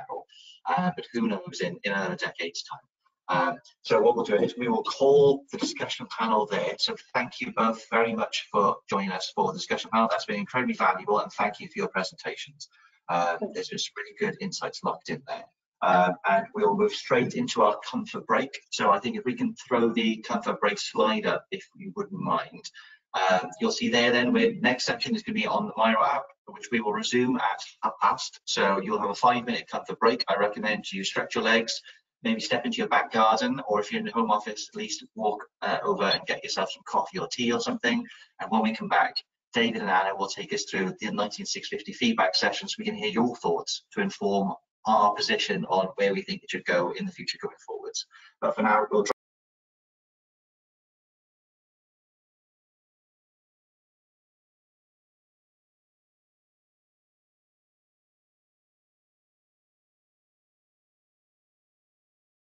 And we are back. So thank you very much for sticking with us. I hope that you've managed to stretch your legs, uh, managed to relax a bit, get yourself a drink, uh, refresh yourself ready for this next session. Uh, so without further ado, um, what we'll do is we'll introduce uh, the breakout session on Miro or Miro. Um, all pronunciation is approximate. Uh, and what I'll do is I'll pass over to um, Anna and David who are going to lead the session. And I believe, Anna, it is over to you. Thanks, Dan, and uh, good afternoon to everyone, and welcome to this feedback session on ISO 19650. Um, just by way of introduction, I'm a lead standards development manager at BSI, and I manage the B555 technical committee, which is responsible for the UK's input into the ISO 19650 series of standards. As mentioned by Anne earlier, Part 1 and Part 2 of ISO 19650 are due to be available for systematic review later in the year. And for those of you who are not familiar with this process, um, the systematic review is something that takes place for every standard, at least every five years after publication, and it's undertaken to ensure that standards remain up to date and globally relevant. As part of this process, the national standards bodies, including BSI, review the standard to determine if it's still valid, um, if it should be revised, or in some cases, if it should be withdrawn. And in the UK, BSI consults with the relevant technical committee to determine the response to the systematic review. And in the case of the ISO 19650 series, uh, this is the technical committee known as B555. B555 and BSI are also keen to get feedback from the wider sector um, on the, the systematic review. And this webinar session today is an opportunity for you to provide that feedback and provide your comments on 19650 to inform the UK's response. At this time, we are looking for feedback on, firstly, if the standards should be revised, uh, secondly, comments on what is currently working, so what's good about those standards. what could be improved and what could be added. I do want to note that the focus should be on refining or clarifying the technical content rather than making fundamental changes to the standards. Um, as Dan has mentioned, we will be using the Miro board to capture your comments and we would like those comments to be structured so that they provide a statement or suggestion about a particular aspect of the standard or standards, along with a reason for that suggestion or statement or a proposed change. This is the kind of format that we will use to feedback to ISO as it makes it easier for those who are reading the comment to understand our point of view and to understand the solution that is being put forward. I will say that we are not looking for comments relating to editorial errors or typos or indeed the national annex. Um, the ISO systematic review is an international process and it will not be looking at national annexes as part of that process. That's something which is done at a national level. Please also don't add anything for which you don't own the copyright or the IPR. So without further ado, I'm going to hand over to David who's going to provide some additional context and we'll take you through the Miro board for this session. David, over to you. Thank, thank you, Anna. Um, that, that's great. And uh, good afternoon, everybody. Uh, just to introduce myself to you, I'm David Churcher. Uh, I'm a consultant in information management, and I've been working with Anne Kemp uh, for the last um, eight or nine years in the development of the ISO 19650 standards. Um, I was the technical author for 19650 Part 1, which is the concepts and principles of information management using BIM. Um, and at the same time, we were developing ISO 19650 Part 2 um, with the same with the same group, and I was involved in those discussions as well. Uh, so those are the two standards that are currently um, being identified for, for review. So um, as well as this session that we have today, uh, we've had some other feedback sessions as well. Uh, there was a, a, a, workshop held at uh, Digital Construct um, a couple months ago, um, and also talking week, a couple of, and we're also talking to uh, other groups within nima and also the, the UK's sort of international presence around uh, BIM and information management to get their feedback as well. So there's quite a lot going on and what we gather this afternoon will add to the, uh, the, the, quantity and quality of the feedback that we can uh, collate and uh, present back to ISO to make the case, if we think that's the right thing, uh, to open a review of these two standards. So as has been mentioned, we're going to use uh, Miro to um, to go through the, the, the, feedback process. So I'm just going to share my screen now and hopefully you will see a Miro board and I'll then um, spend a couple of moments uh, just explaining uh, how we're going to work for the uh, for the afternoon. So um, I'm hoping that is now visible on the on the shared screen, the, the Miro board. Um, I believe I'm sharing. uh, anyway, uh, what you should be able to see uh, is an overview of the Miro board with three areas of focus in it, um, which we have, uh, which we've named Rose, Thorn, and Bud. And what we're going to do over the next 45 minutes is to look at three different aspects of feedback on the standards in turn. Ah, I think I'm seeing some uh, comments that, that we're not seeing the uh, the the board. Yes. Sorry, David. I think at least, at least for me, I can see a white screen at the moment. Um, okay. Um, well, I pressed the button to say share, and it looks it tells me I'm sharing my Google Chrome window, which should have the Miro so board I, it. I can see it now. Interestingly, um, so it may be a a, a zoom aspect. So maybe if you try extending your window but not maximizing it, that might work. That I can see that now. Ah, right. Is that better? Uh, sorry, if that was. Um, uh, hopefully that is better for everybody. Um, I have kept it zoomed out. I will zoom in um, as I as I take you through what we're going to be doing for the next in the next uh, 45 minutes. So we're going to tackle each of the three sub areas of the board in turn. Uh, the rose area, um, which I will zoom in on, is going to be focusing on things that are working well in the, the ISO 19650 standards, parts one and two, and that's really the only two parts that we are we're thinking about this afternoon.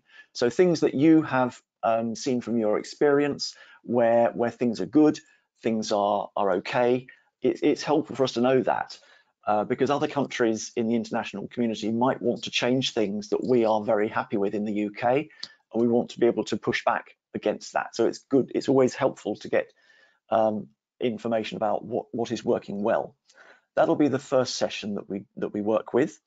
Uh, the second session that we work with will be to look at the thorns, which are the things that are not working well, where you might have particular challenges or issues with um, the way the standard um, expresses certain ideas or the way that it is um, uh, expressing certain uh, terminology, for example. So um, that those are the thorns that we'd like you to cover. Those that's in the second uh, session of, of the afternoon. And then uh, the third session is going to be looking at buds, so opportunities for improvement, for um, adding perhaps new ideas or, or presenting things differently, um, where we can we can um, uh, improve the way that the standards work.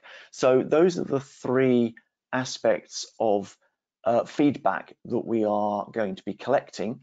And in each case, um, I'm going to be asking you to uh, engage with Miro and the, the link to the Miro board that I'm showing you is going to be put in the chat um, in the next minute or two so that you can click on that link and join the Miro boards yourself um, to, to join me here in the Miro environment.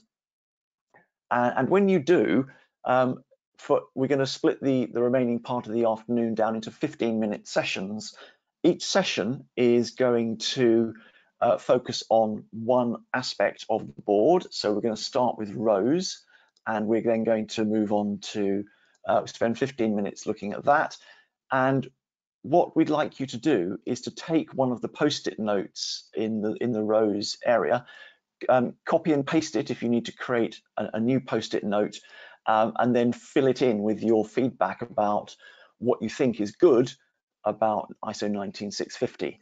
Um, there's an example here already, which I'll just zoom in on to show you, um, to give you an idea of what sort of style we'd like you to, to, to use. So what is it that is, is really useful, X, Y, or Z? Um, we really want to know why uh, because when we argue these points in the international community, then it really helps us to have some um, some evidence and some rationale for the changes that are being made or proposed. Um, and, and, so some reason as to why um, something is good is, is helpful. And we've also invited everybody, if they're putting a, um, a suggestion on the post-its, to, if they wish to, to identify yourselves um, in shorthand form um, Dan here uh, made the example. So Dan R at BSI, we can get your contact details from the uh, from from the login details to the webinar. So we don't need full email addresses or anything like that um, on these post-its, but just that will enable us to follow up any queries that we have um, after the, the after the session finishes. So that is that's how we're going to to run the uh, the Miro session. Um, and uh, what I'd like to do is uh, you hopefully you've got the the link in the uh, chat um,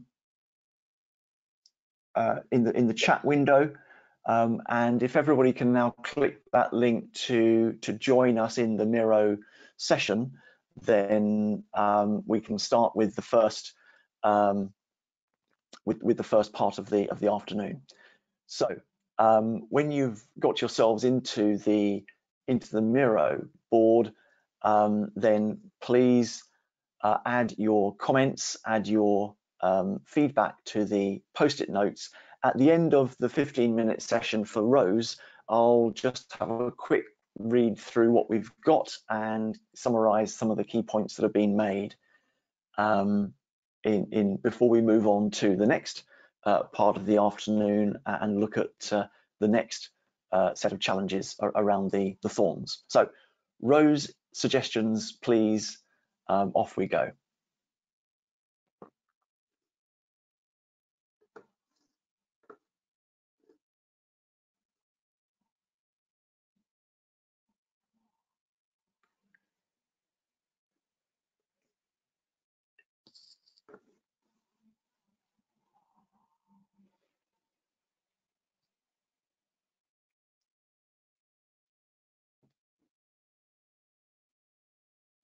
If you're having any challenges with the, the Miro board, then uh, put um, any uh,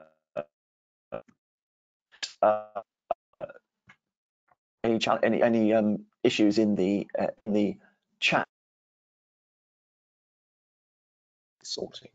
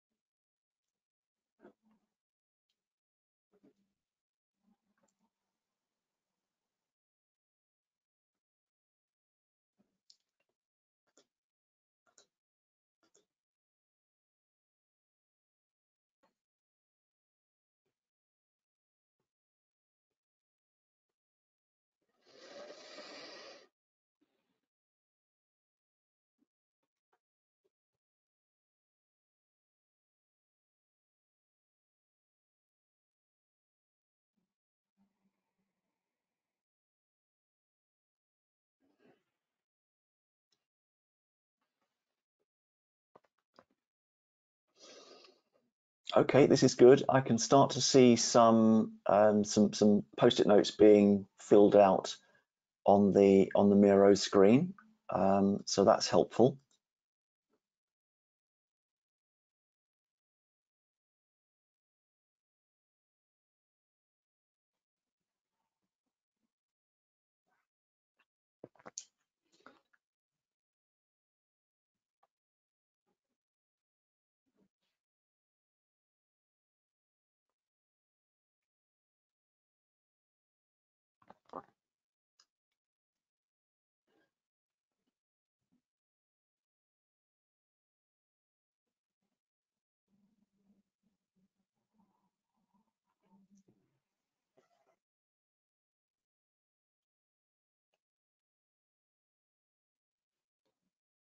I can see some people are um, starting to also go across into the thorn area um, to identify some some challenges with with 19650 parts one and two.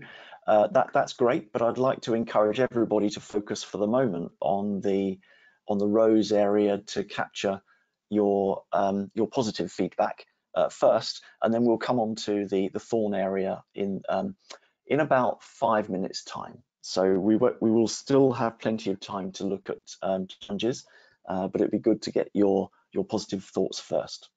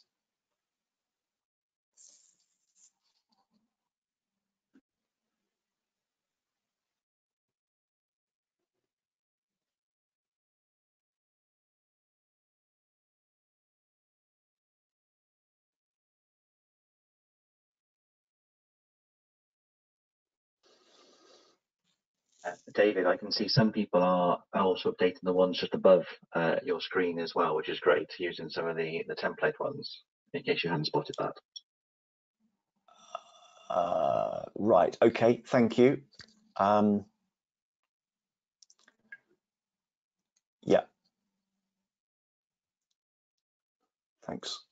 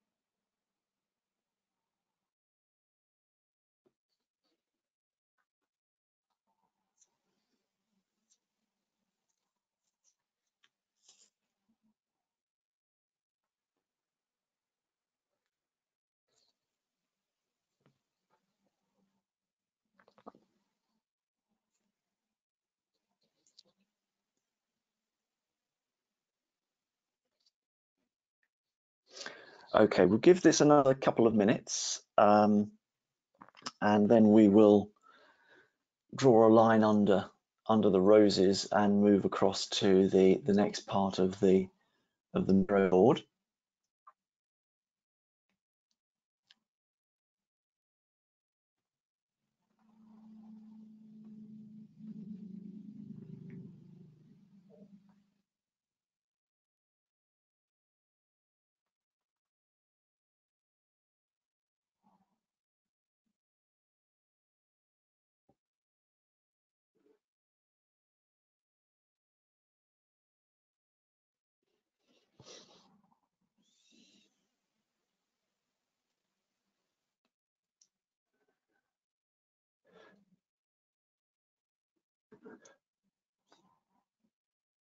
I'm also going to try and move some of the post-its down so that they can be clustered at the bottom of the screen um, into areas where we might have uh, similar ideas being talked about. Um, that's not anything hard and fast. It's just my interpretation of what I'm reading on the on the post-its.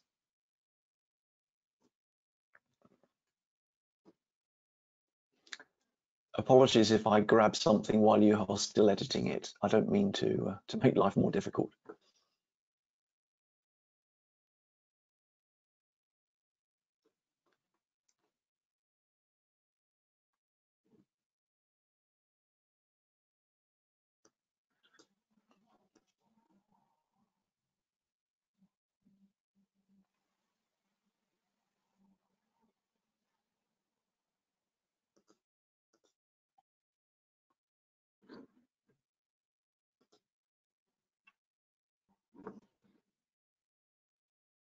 It certainly do. It seems interesting that there's some common themes emerging, which is uh, which is great. Mm, yes. Yeah, absolutely.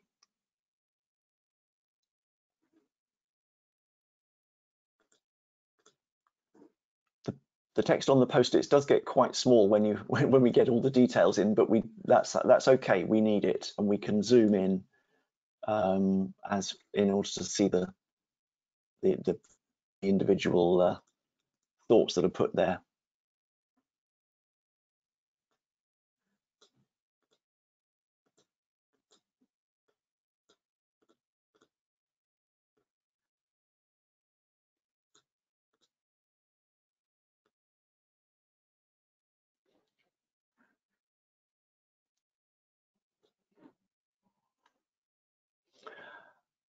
Okay, right. Um, let me just move some of these things down so that we've got them. I think this one here that I've just got at the moment uh, is, is kind of edging across into the, the thorn area. So um, I'll just put it on the edge of the uh, of the of the frame. Um, have we got any more being developed in rose? I don't think so. I think that's the lot that, that we've got. So um, just a quick summary of the topics that you have identified here um, on the on the post-its in in the rose area. Uh, we've got some some good feedback about the the fact that 19650 is is a process-based standard, so it's focusing on, uh, on, on helping people with what they need to do um, rather than being uh, oriented around technology, for example. Um, and of course, we need both uh, in order to be successful with with information management. Um, good to see that uh, we've got some support for the improvements over the previous UK standards, good though they were, um, the opportunity to internationalize, I think, has enabled us to think a, li a little more, a lot more clearly about the, the structure of the standards. Um, uh, some comments over here on the left about the uh, the importance of focusing on uh, information generally rather than just um, uh, tending to to leading people, encouraging people to think just about um, graphical models uh, and geometrical information. So um, that that's that's was one of the the the, the uh, ambitions of the ISO standard. So it's good to see that's worked. Um, and over here on the right, um, some some good feedback about the um, uh, the the fact that it helps assign responsibilities uh, and also um, brings all members of the of the team of a team, whether it's a project team in the case of part two, or a, an asset management team in the case of part three, bring gives them clear uh, things that they need to be doing, and and therefore um, uh, enables there to be less less misunderstanding of, of who's supposed to be doing what. Um, and finally, just this one down the bottom is the fact that it's an international standard is, is appreciated because that provides um, uh, collaboration and, and, understanding across the, the, wider community. So excellent. Thank you uh, very much for for your contributions in the in the rose area. Let me zoom out. Um, and of course, you can continue to add things to the rose part of the of the Miro board. Uh, but what I'd like to do is to move across to the um, to the Thorn uh, area, and um, for some reason I can't see anything that's going on in Thorn. Um, I don't know what's happened there. Um, ah, there we are. It's showing up now. Uh, so what I'd like you to do is to now um, document your uh, areas for improvement in the ISO standards parts one and two. Again, um, trying to be as specific as you can and also to give your reasons um, uh, where where you can. That would be that that's incredibly helpful. Um, so, and, and I suspect uh, you might need rather more post-it notes in this area. Um, we always like to perhaps um, identify challenges um, more, more, easily. They, they come to us more easily than the, the positive feedback. Uh, so just copy and paste an existing uh, post-it note to create a new one and um, fill it in with the, the, the what. What is um, unhelpful or unclear or needs to be improved from your point of view and explain briefly why. Um, and, and that would be great. So we've got, it's now just coming up to two minutes to three, and we're going to run the, the Thorn session until 10 past. So we've got another 12 minutes to add uh, suggestions to the to the Thorn Thorn part of the Miro board.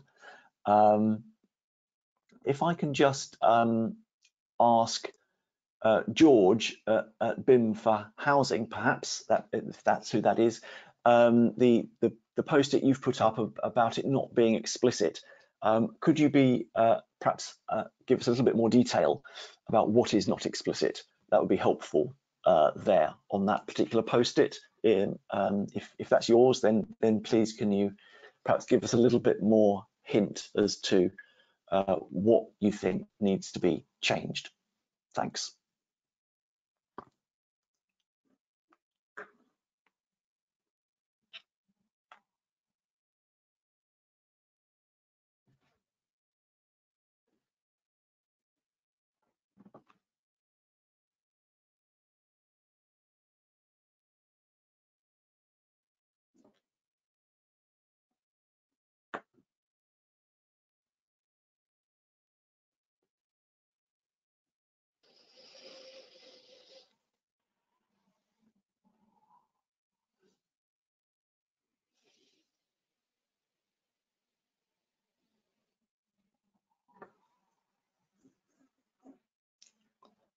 For the benefit of anybody who is just on the GoToWebinar and uh, looking at my shared screen um, to see what's happening in, in the Miro session, then um, I'll try and zoom in at various points into the post-its so you can hopefully read what's being written um, in the Miro session. But if you wish to join us and add your own feedback to the session, then, then please do.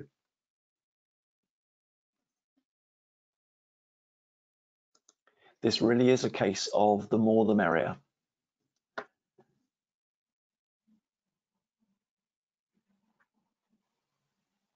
Just having a quick look at some of the um, that have been added. Uh, something here about uh, client maturity um, being a, a challenge. Um, that's not necessarily something that the ISO itself can do anything about, uh, but uh, uh, unless it, it's about re, um, rewriting the, the, the client uh, responsibilities in the ISO or the, the appointing party responsibilities. Um, but it can be supported by bodies like nima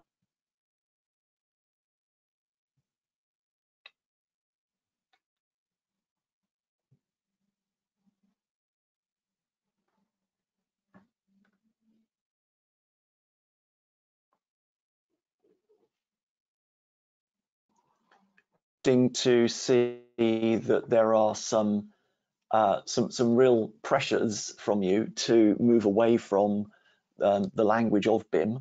Uh, we've been using it for the last goodness knows how many years, but uh, it seems as though we are, or a number of you are now ready to move on and start talking uh, more generally about information management.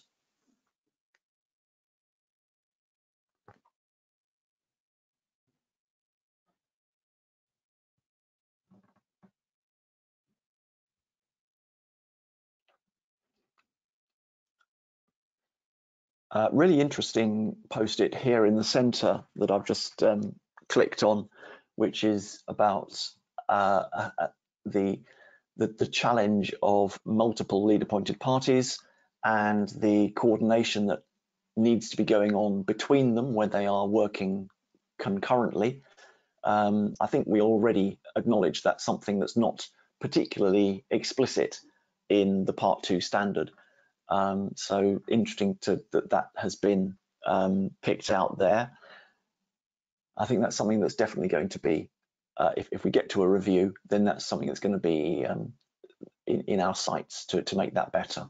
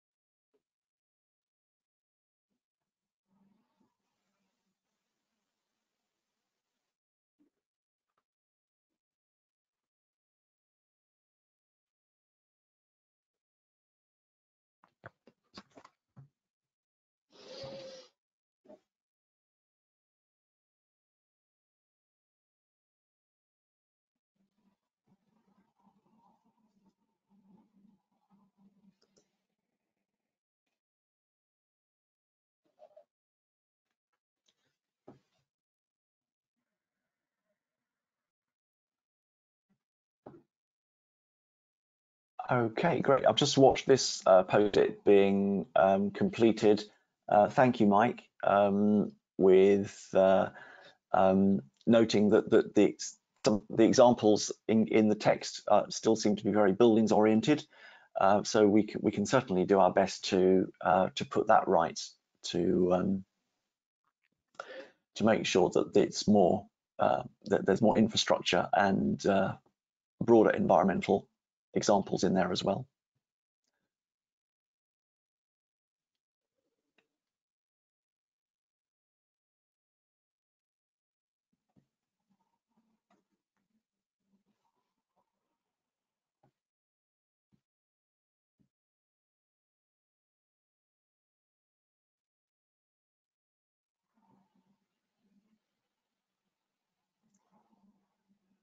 So we've got about another five minutes in this session um, trying to pick out some of the, the challenges with the existing 19650 standards. So that, that's great. Um, still lots of time to put in some, some more post-its in this, in this area.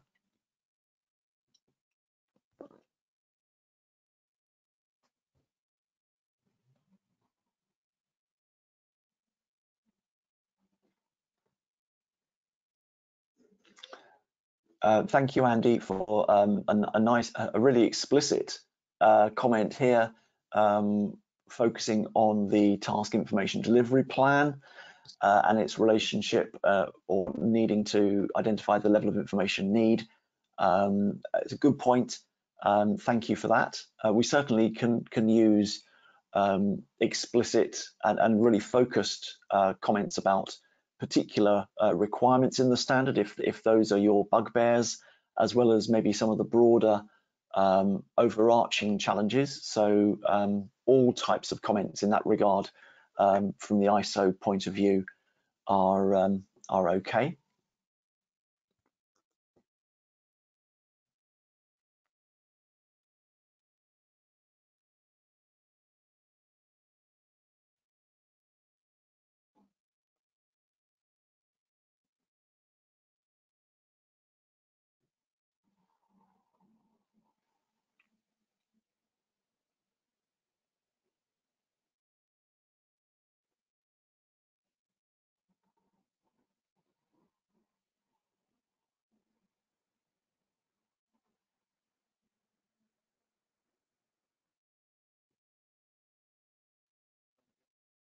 There's been a couple of comments um, about the uh, terms and definitions and, and, where those are, are located.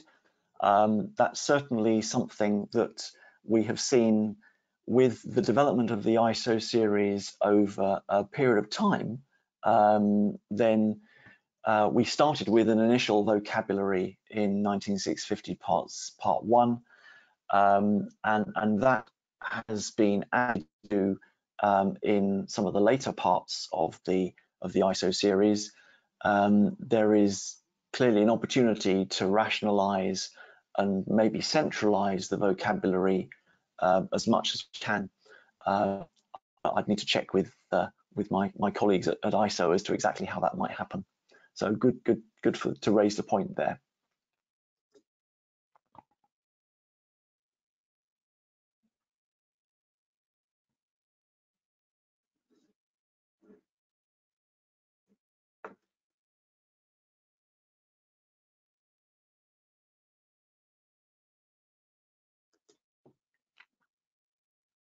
Another good uh, detailed comment here, um, which I can see from Bryn about the uh, the client shared uh, state in the common data environment, which is um, touched on in part one as part of the CDE concept, uh, but it isn't actually uh, then elaborated in uh, in part two. So it does seem a little bit like a um, a potential dead end um, in in terms of the, the, the standard. So that that's something we can certainly also look at.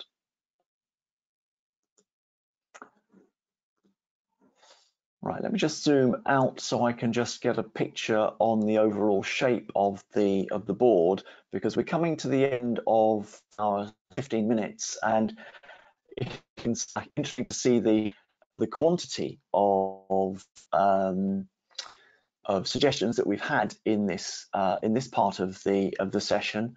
Um, I'm just going to let it run for another minute or two because I think you might still have some things that you want to say.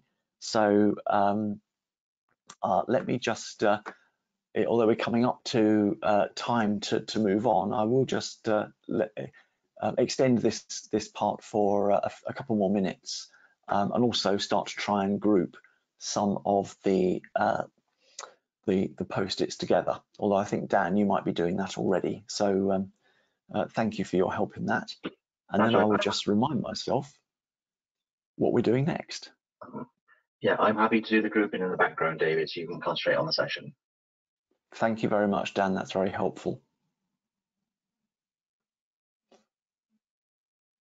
and I can see already been doing some organising in the um, in the rose area. So um, thanks for that too.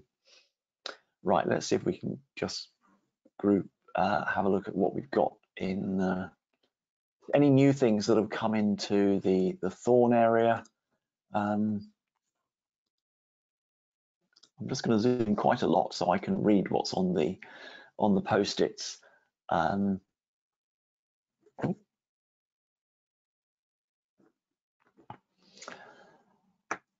uh, interesting point here about overlaps with practices outside of information management. Um, and it, the examples here are procurement and project management. Um, this is always going to be an area of tension. Um, 19650 is just an information management standard, and we have to be very careful about not um, duplicating the, the scope of other existing standards. So there, there is a limit to what we can, we can do, although um, we, we, can obviously haven't gone quite far enough or we've gone too far, then uh, let us know uh, and then we can do what we can to, to improve that. Um,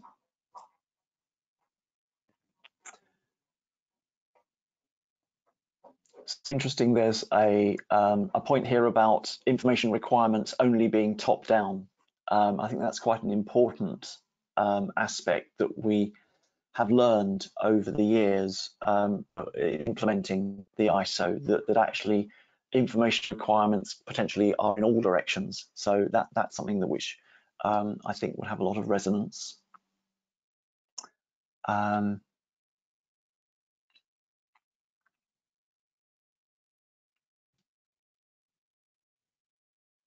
so a point here about um, enabling implementation of the ISO through um, awareness and upskilling and, training, um, which of course is, is absolutely critical.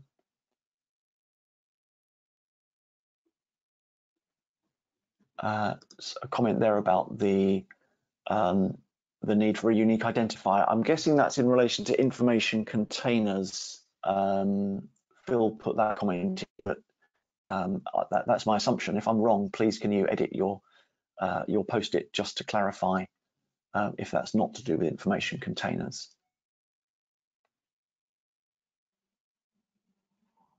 Um, interesting point, comment here about the, the definition of BIM. Um, given some of the other queries about moving away from BIM to information management, uh, this might be something that solves itself if the term gets uh, removed from, from the ISO.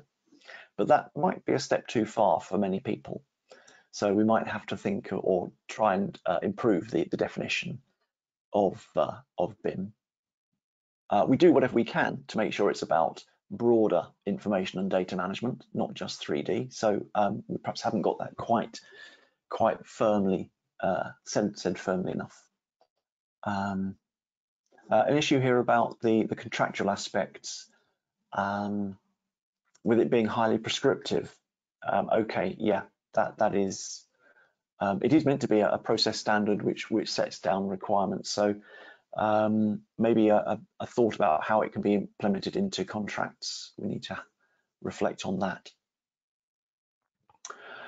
Okay, right, now then, I think um, I'm going to draw a line under uh, the, the thorn area. Uh, we've got lots of ideas here, um, some of which I haven't really dealt, uh, tackled before, but let me just focus on this one.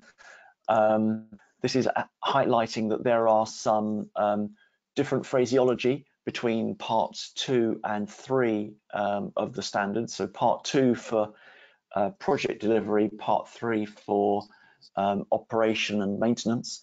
So we have potentially got some some challenges there about how uh, topics are differently uh, explained in the two standards. We need to try and keep them as close together as possible. Okay, right. So um, thank you for all of those comments. Um, Dan, if I can leave you to do some um, collating and gathering on those um, in the over the next few minutes, um, then what I'd like people to do now is to shift your attention across to the uh, the third part of the Miro board, and that's the standards. So what are the opportunities for improvement? Um, where have we got things that we can develop further? Um, how can we how can we improve the the existing nature of the standards in an org, in an organic way and an incremental way um, rather than sort of the more dramatic uh, perhaps uh, changes that were being identified in in the thorn section so um, if you've got some ideas here for the for the green area of of the Miro board then please um, come to the the bud area and start putting some post-its in this part um, of the Miro area for um, for things that can be can be chat can be improved. Um, thank you, Nicoletta. I can see you're already starting to uh, to write uh, a comment in in that in that part. Um, and interesting that you're focusing on level of information need. Uh, yes, this is a, a topic which has uh, been the subject of quite a lot of discussion and debate since the first ISO standards were published in 2018, um, not least with the, the European standards on level of information need. So something I think we understand a lot better now than we did then. And so I think we can definitely improve the explanation uh, that's in the in the ISO standards, 19650 standards about level of information need. Thank you, Nicoletta, for, for bringing that to our attention.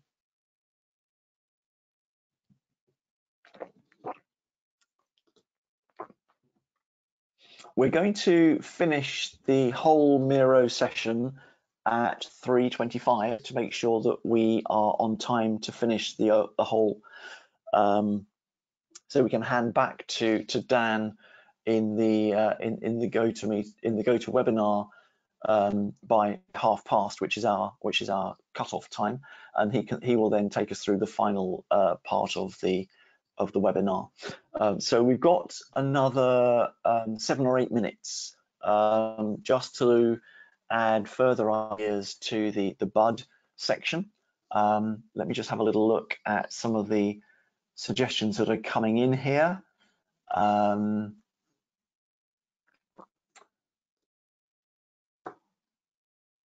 I'm just looking at this uh, post-it that's being drafted at the moment on uh, requirements for facilities management um, to develop those in more detail.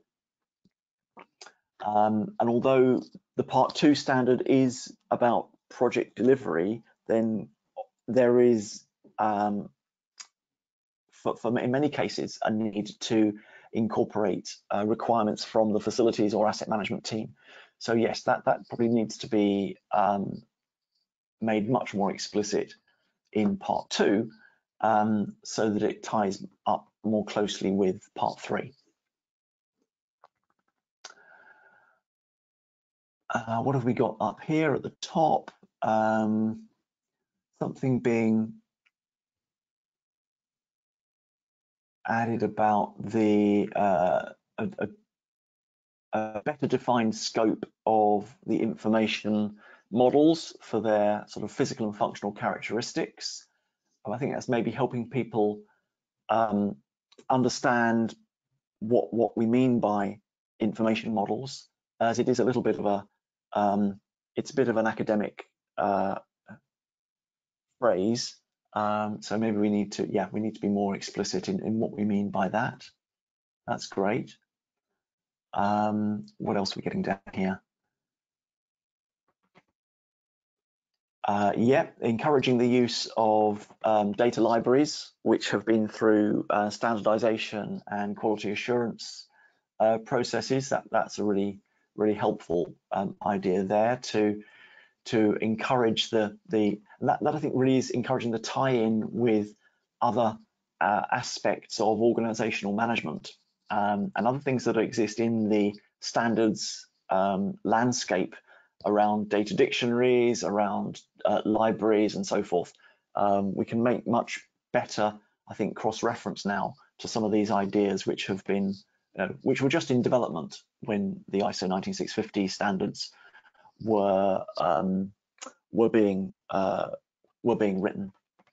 So it, in, in, in terms of thinking about what's happened over the last 10 years, then uh, certainly the land, the standards landscape has uh, become much richer over that period of time. Uh, we have a, a, a, plethora of international standards now in this space, um, and I think that should in, enable us to be um, much more helpful in our descriptions and discussions, certainly in the concepts and principles in part one, but hopefully also in uh, bringing some of these ideas more explicitly into uh, part two.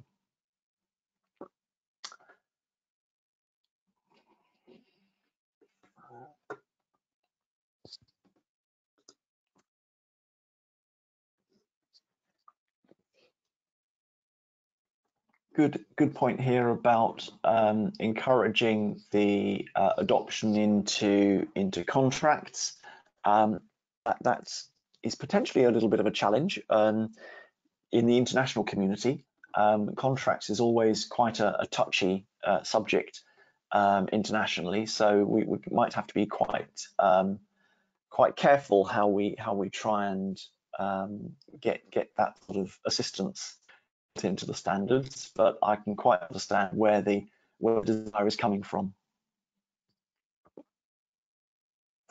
I've also been given permission to um, to overrun by a few minutes. Thank you, Dan. So um, although I said we were going to finish at uh, 3.25, if you're still going strong, then we can certainly take another two or three minutes to make sure we've got all of your uh, suggestions and ideas uh, captured in the Miro board as part of this feedback session.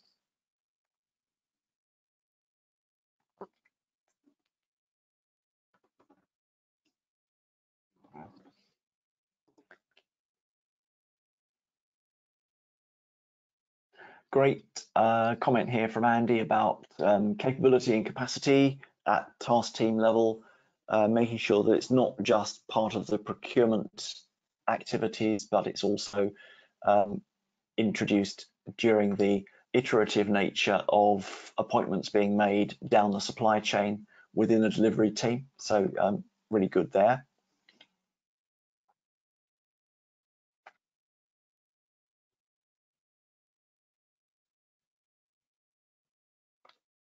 Oh, I like this idea over in the um, just underneath the bud heading. Um, is it possible to combine parts two and three into a single document? Uh, that that it may be um, it's certainly something we should we should um, raise as a question. Um, I'm be interesting to see how much uh, support there is for that internationally. Um, I think in the UK we'd certainly see it as a way of simplifying the the ISO series um, because they are so similar. Uh, but uh, whether it actually addresses the issue which we touched on this morning about appropriate language for, for different audiences, um, we might need to uh, think very carefully about whether just having a single document covering all parts of the life cycle would still encourage uh, both the project delivery and the asset management communities to engage with this topic. So maybe some some some good questions there. Um, not quite sure how they're going to um, how they're going to resolve themselves. We'll find out when we start talking to the international, into the other members of the international working group.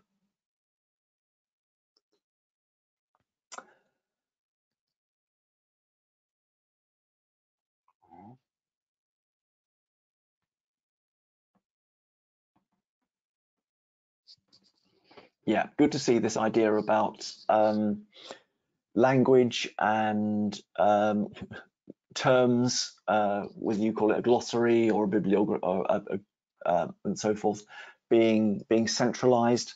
Um, I think that's a really interesting idea. Um, we need to be careful that that on its own that might sound like we're creating a new standard. Um, it may be just we're we're then strengthening the terms and definitions aspect of uh, part one.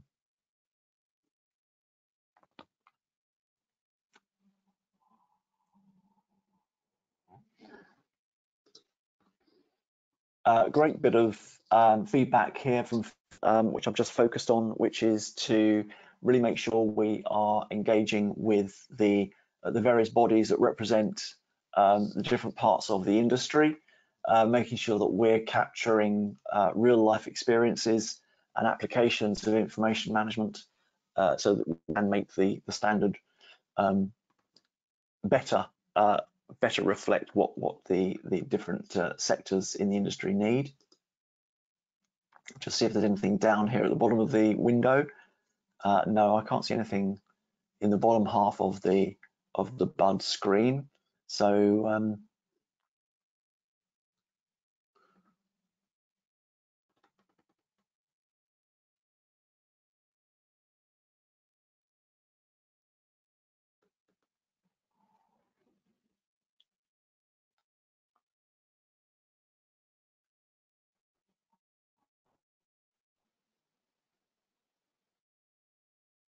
just having a quick look at some of the new post-its that are just being added um, in the, the, various parts of, of this, this area of the Miro. Um,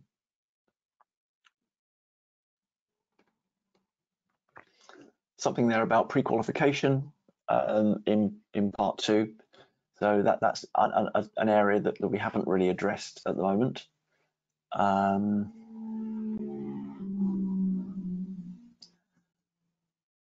some topics here about um, making making it more explicit how uh, better information leads to to better outcomes, uh, particularly with issues around safety. Yep, really important there. Um, another uh, um, suggestion here about I think I think really making a stronger case for information management um, this this sounds to me like um, material for the the part one uh, standard uh, of the series to to talk about the the, the business case. Uh, that's certainly something we've addressed or tried to address in the guidance um, and with, through nima.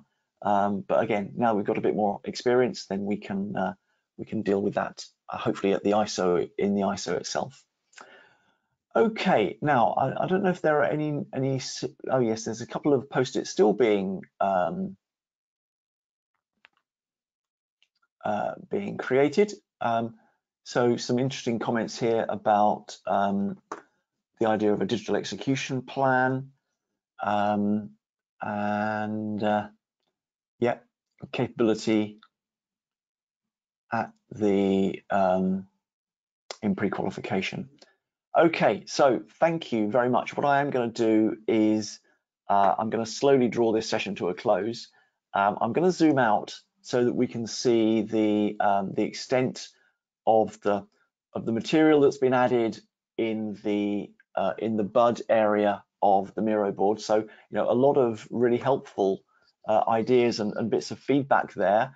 If I can just go back to um, the thorn area where Dan has been doing some um, some grouping, then if I can just zoom in ever so slightly and just uh, quickly uh, look at the, the headings that Dan has sort of grouped the, um, the, the, ideas into, then um, going from the top, we've got some suggestions around the task information delivery plan, the common data environment, quite a lot of suggestions about uh, terms and definitions, and also some, some suggestions about improving information requirements. Um, as tends to happen when we get asked for feedback, then we do sometimes get diametrically opposite views. Uh, so we've got some um, some thoughts here about there being some lack of prescription uh, and also that there's too much prescription. Well, um, I, I, don't think we're going to be able to satisfy both of those simultaneously um, unless there are some really um, precise points that are going to come out of those ideas. Um, it might be helpful for those of you who've put those ideas in to just identify yourselves if you don't mind, so that we can perhaps follow up with what you're what you're driving at there.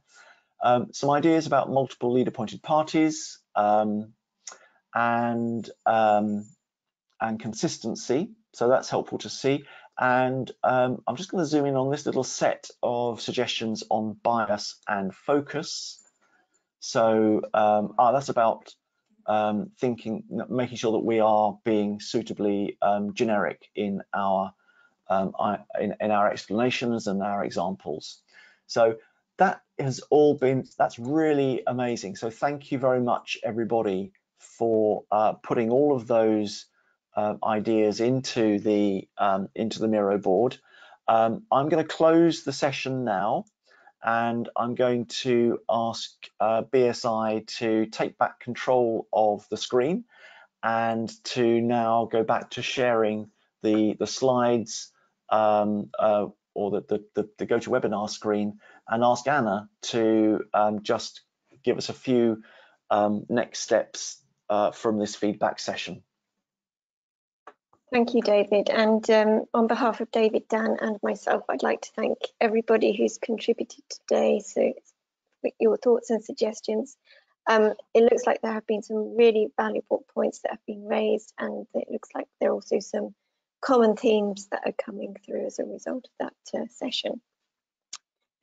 Also, um, the Miro board will remain open until the end of the day if anybody does want to go back and add anything that they think of later or if they want to expand on their comments. Um, so, so please do feel free to go back until the end of today. As regards next steps, um, we, that is BSI and B555, are going to collate all the comments that we've received through the various feedback initiatives that are taking place uh, they will then be reviewed. We'll look to identify some common themes and basically consolidate the UK's position to feedback to ISO when the systematic review opens later in the year. So thank you all once again, and I will hand back to Dan for his closing remarks. Brilliant. Thank you very much, Anna. And I'd also like to echo um, our thanks from everyone to yourself and David for in that session. So thank you very much. And thank you to everyone who has participated and continues to participate. Uh, what I'll do is I'll do a quick wrap up. So you two are welcome to escape if you want now. So thank you for your hard work. Um, and I have the unenviable task of trying to summarize all of the information that is has come through today. And you know, just looking at my scribbles and some of the things I can see there, I think it's been very interesting to hear of that sort of uh, Christmas Carol-esque past, present, future structure in where we've looked at things. Uh, particularly when you think about how Fergus began talking about how you know the, the, advent of CAD was back in the 1950s, and given the prevalence of it still in many different areas, I think that you know it just shows how long it can take for technology once it becomes so kind of permeated in what we do to have any sort of disruption or shift in it. But you know, from there we've seen massive development as when we got into the 2000s, where we did a lot of the research for it, and then into the the teens, if I'm allowed to call them that, uh, where we first saw things like BIM level two and the transition from our PASs up to the ISO standards, saw that acceleration there, where, as Fergus mentioned, you know, there were improvements around productivity, uh, other outcomes relating to things like safety, um, as well as being able to do more international trade and have that international focus on what we are doing, uh, which is fantastic. And uh, some of you have seen it. There's a lot of hard work our, the international teams do do on promoting people like uh, Adam Matthews and stuff who have gone out, uh, which has meant all places like Latin America and others have started to look at the UK approach and are looking to adopt it. Um, Going forwards then into things like the 2020s, um, we saw Anne give an overview of all the different work that's happening uh, throughout nima and the areas that nima is, is touching into as well, showing that very much information management and the activities around it and BIM are more alive than ever. And we're seeing how it's actually starting to spill into other areas like sustainability and that relationship with zero, like with fire safety and relation people like the Building Safety Alliance. So there's very much a, a network being created of people who are keen and interested in good practice information management because regardless of what you're looking at, to, to achieve outcomes and realize them, information is important. I thought there's a very poignant point from Fergus in the discussion chat around this idea that actually in the future, might information about the asset be more important than the asset itself, which I thought was quite powerful. Uh, and we could see this idea then that you know going forwards we had our predictions um, hopefully we'll be correct we'll see but we're certainly uh, future focused and aspirational in that the future generation um, might help solve things and areas like procurement and others are key focuses going forwards. And ultimately with your feedback, which has been you know, incredibly powerful and we will continue to try and collate and pull these together. As Anna mentioned, you know, we haven't done this task just to see what's happening. We are going to take the, this insight, we're going to run with it, and it's going to help form the UK's national view as we look at what's going to happen to 19650 going forwards. And we're also going to collate it with other feedback sessions that nima and others have run to ensure that we get as wide a view as possible. So if you see other sessions being advertised, yeah, feel free to attend those and provide your feedback there as well as we're all talking to each other and we're going to collect and make sure that we get as many responses as we can from a, a broader stakeholder group as possible. And with that, I will probably just say thank you all very much for attending. I hope you found the session insightful in the morning and I will certainly find your feedback incredibly insightful as I go through it in more detail uh, afterwards. So I think all that leaves me to do is to uh, start to wrap up. Uh, so hopefully this isn't the first one of these BSI webinars you've attended and we have a plethora of other topics and subjects that are being looked at. For example, uh, you know, we have uh, effectively after the summer uh, a range of things that range from fire testing, construction products, uh, retrofit in terms of updates around PAS 2030, 2035, uh, and others going on, as well as, as always, our end of year conference, the Global Built Environment Conference, which will be happening then uh, in December.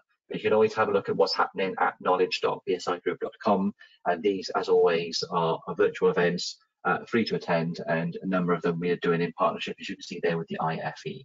Uh, so if you have any ideas and topics you think you might want us to talk about, either in our lunchtime webinars or in more substantial events like this, please do let us know. And I think that takes me more or less to the end, I think. Um, I don't think there's an extra slide afterwards. So what I'll do is I will leave it there, say thank you very much for attending. I uh, hope you've enjoyed the session. Feel free to drop into the Miro for the rest of the day until we lock it off and collect the comments and hope you have a enjoyable rest of your afternoons. Thank you.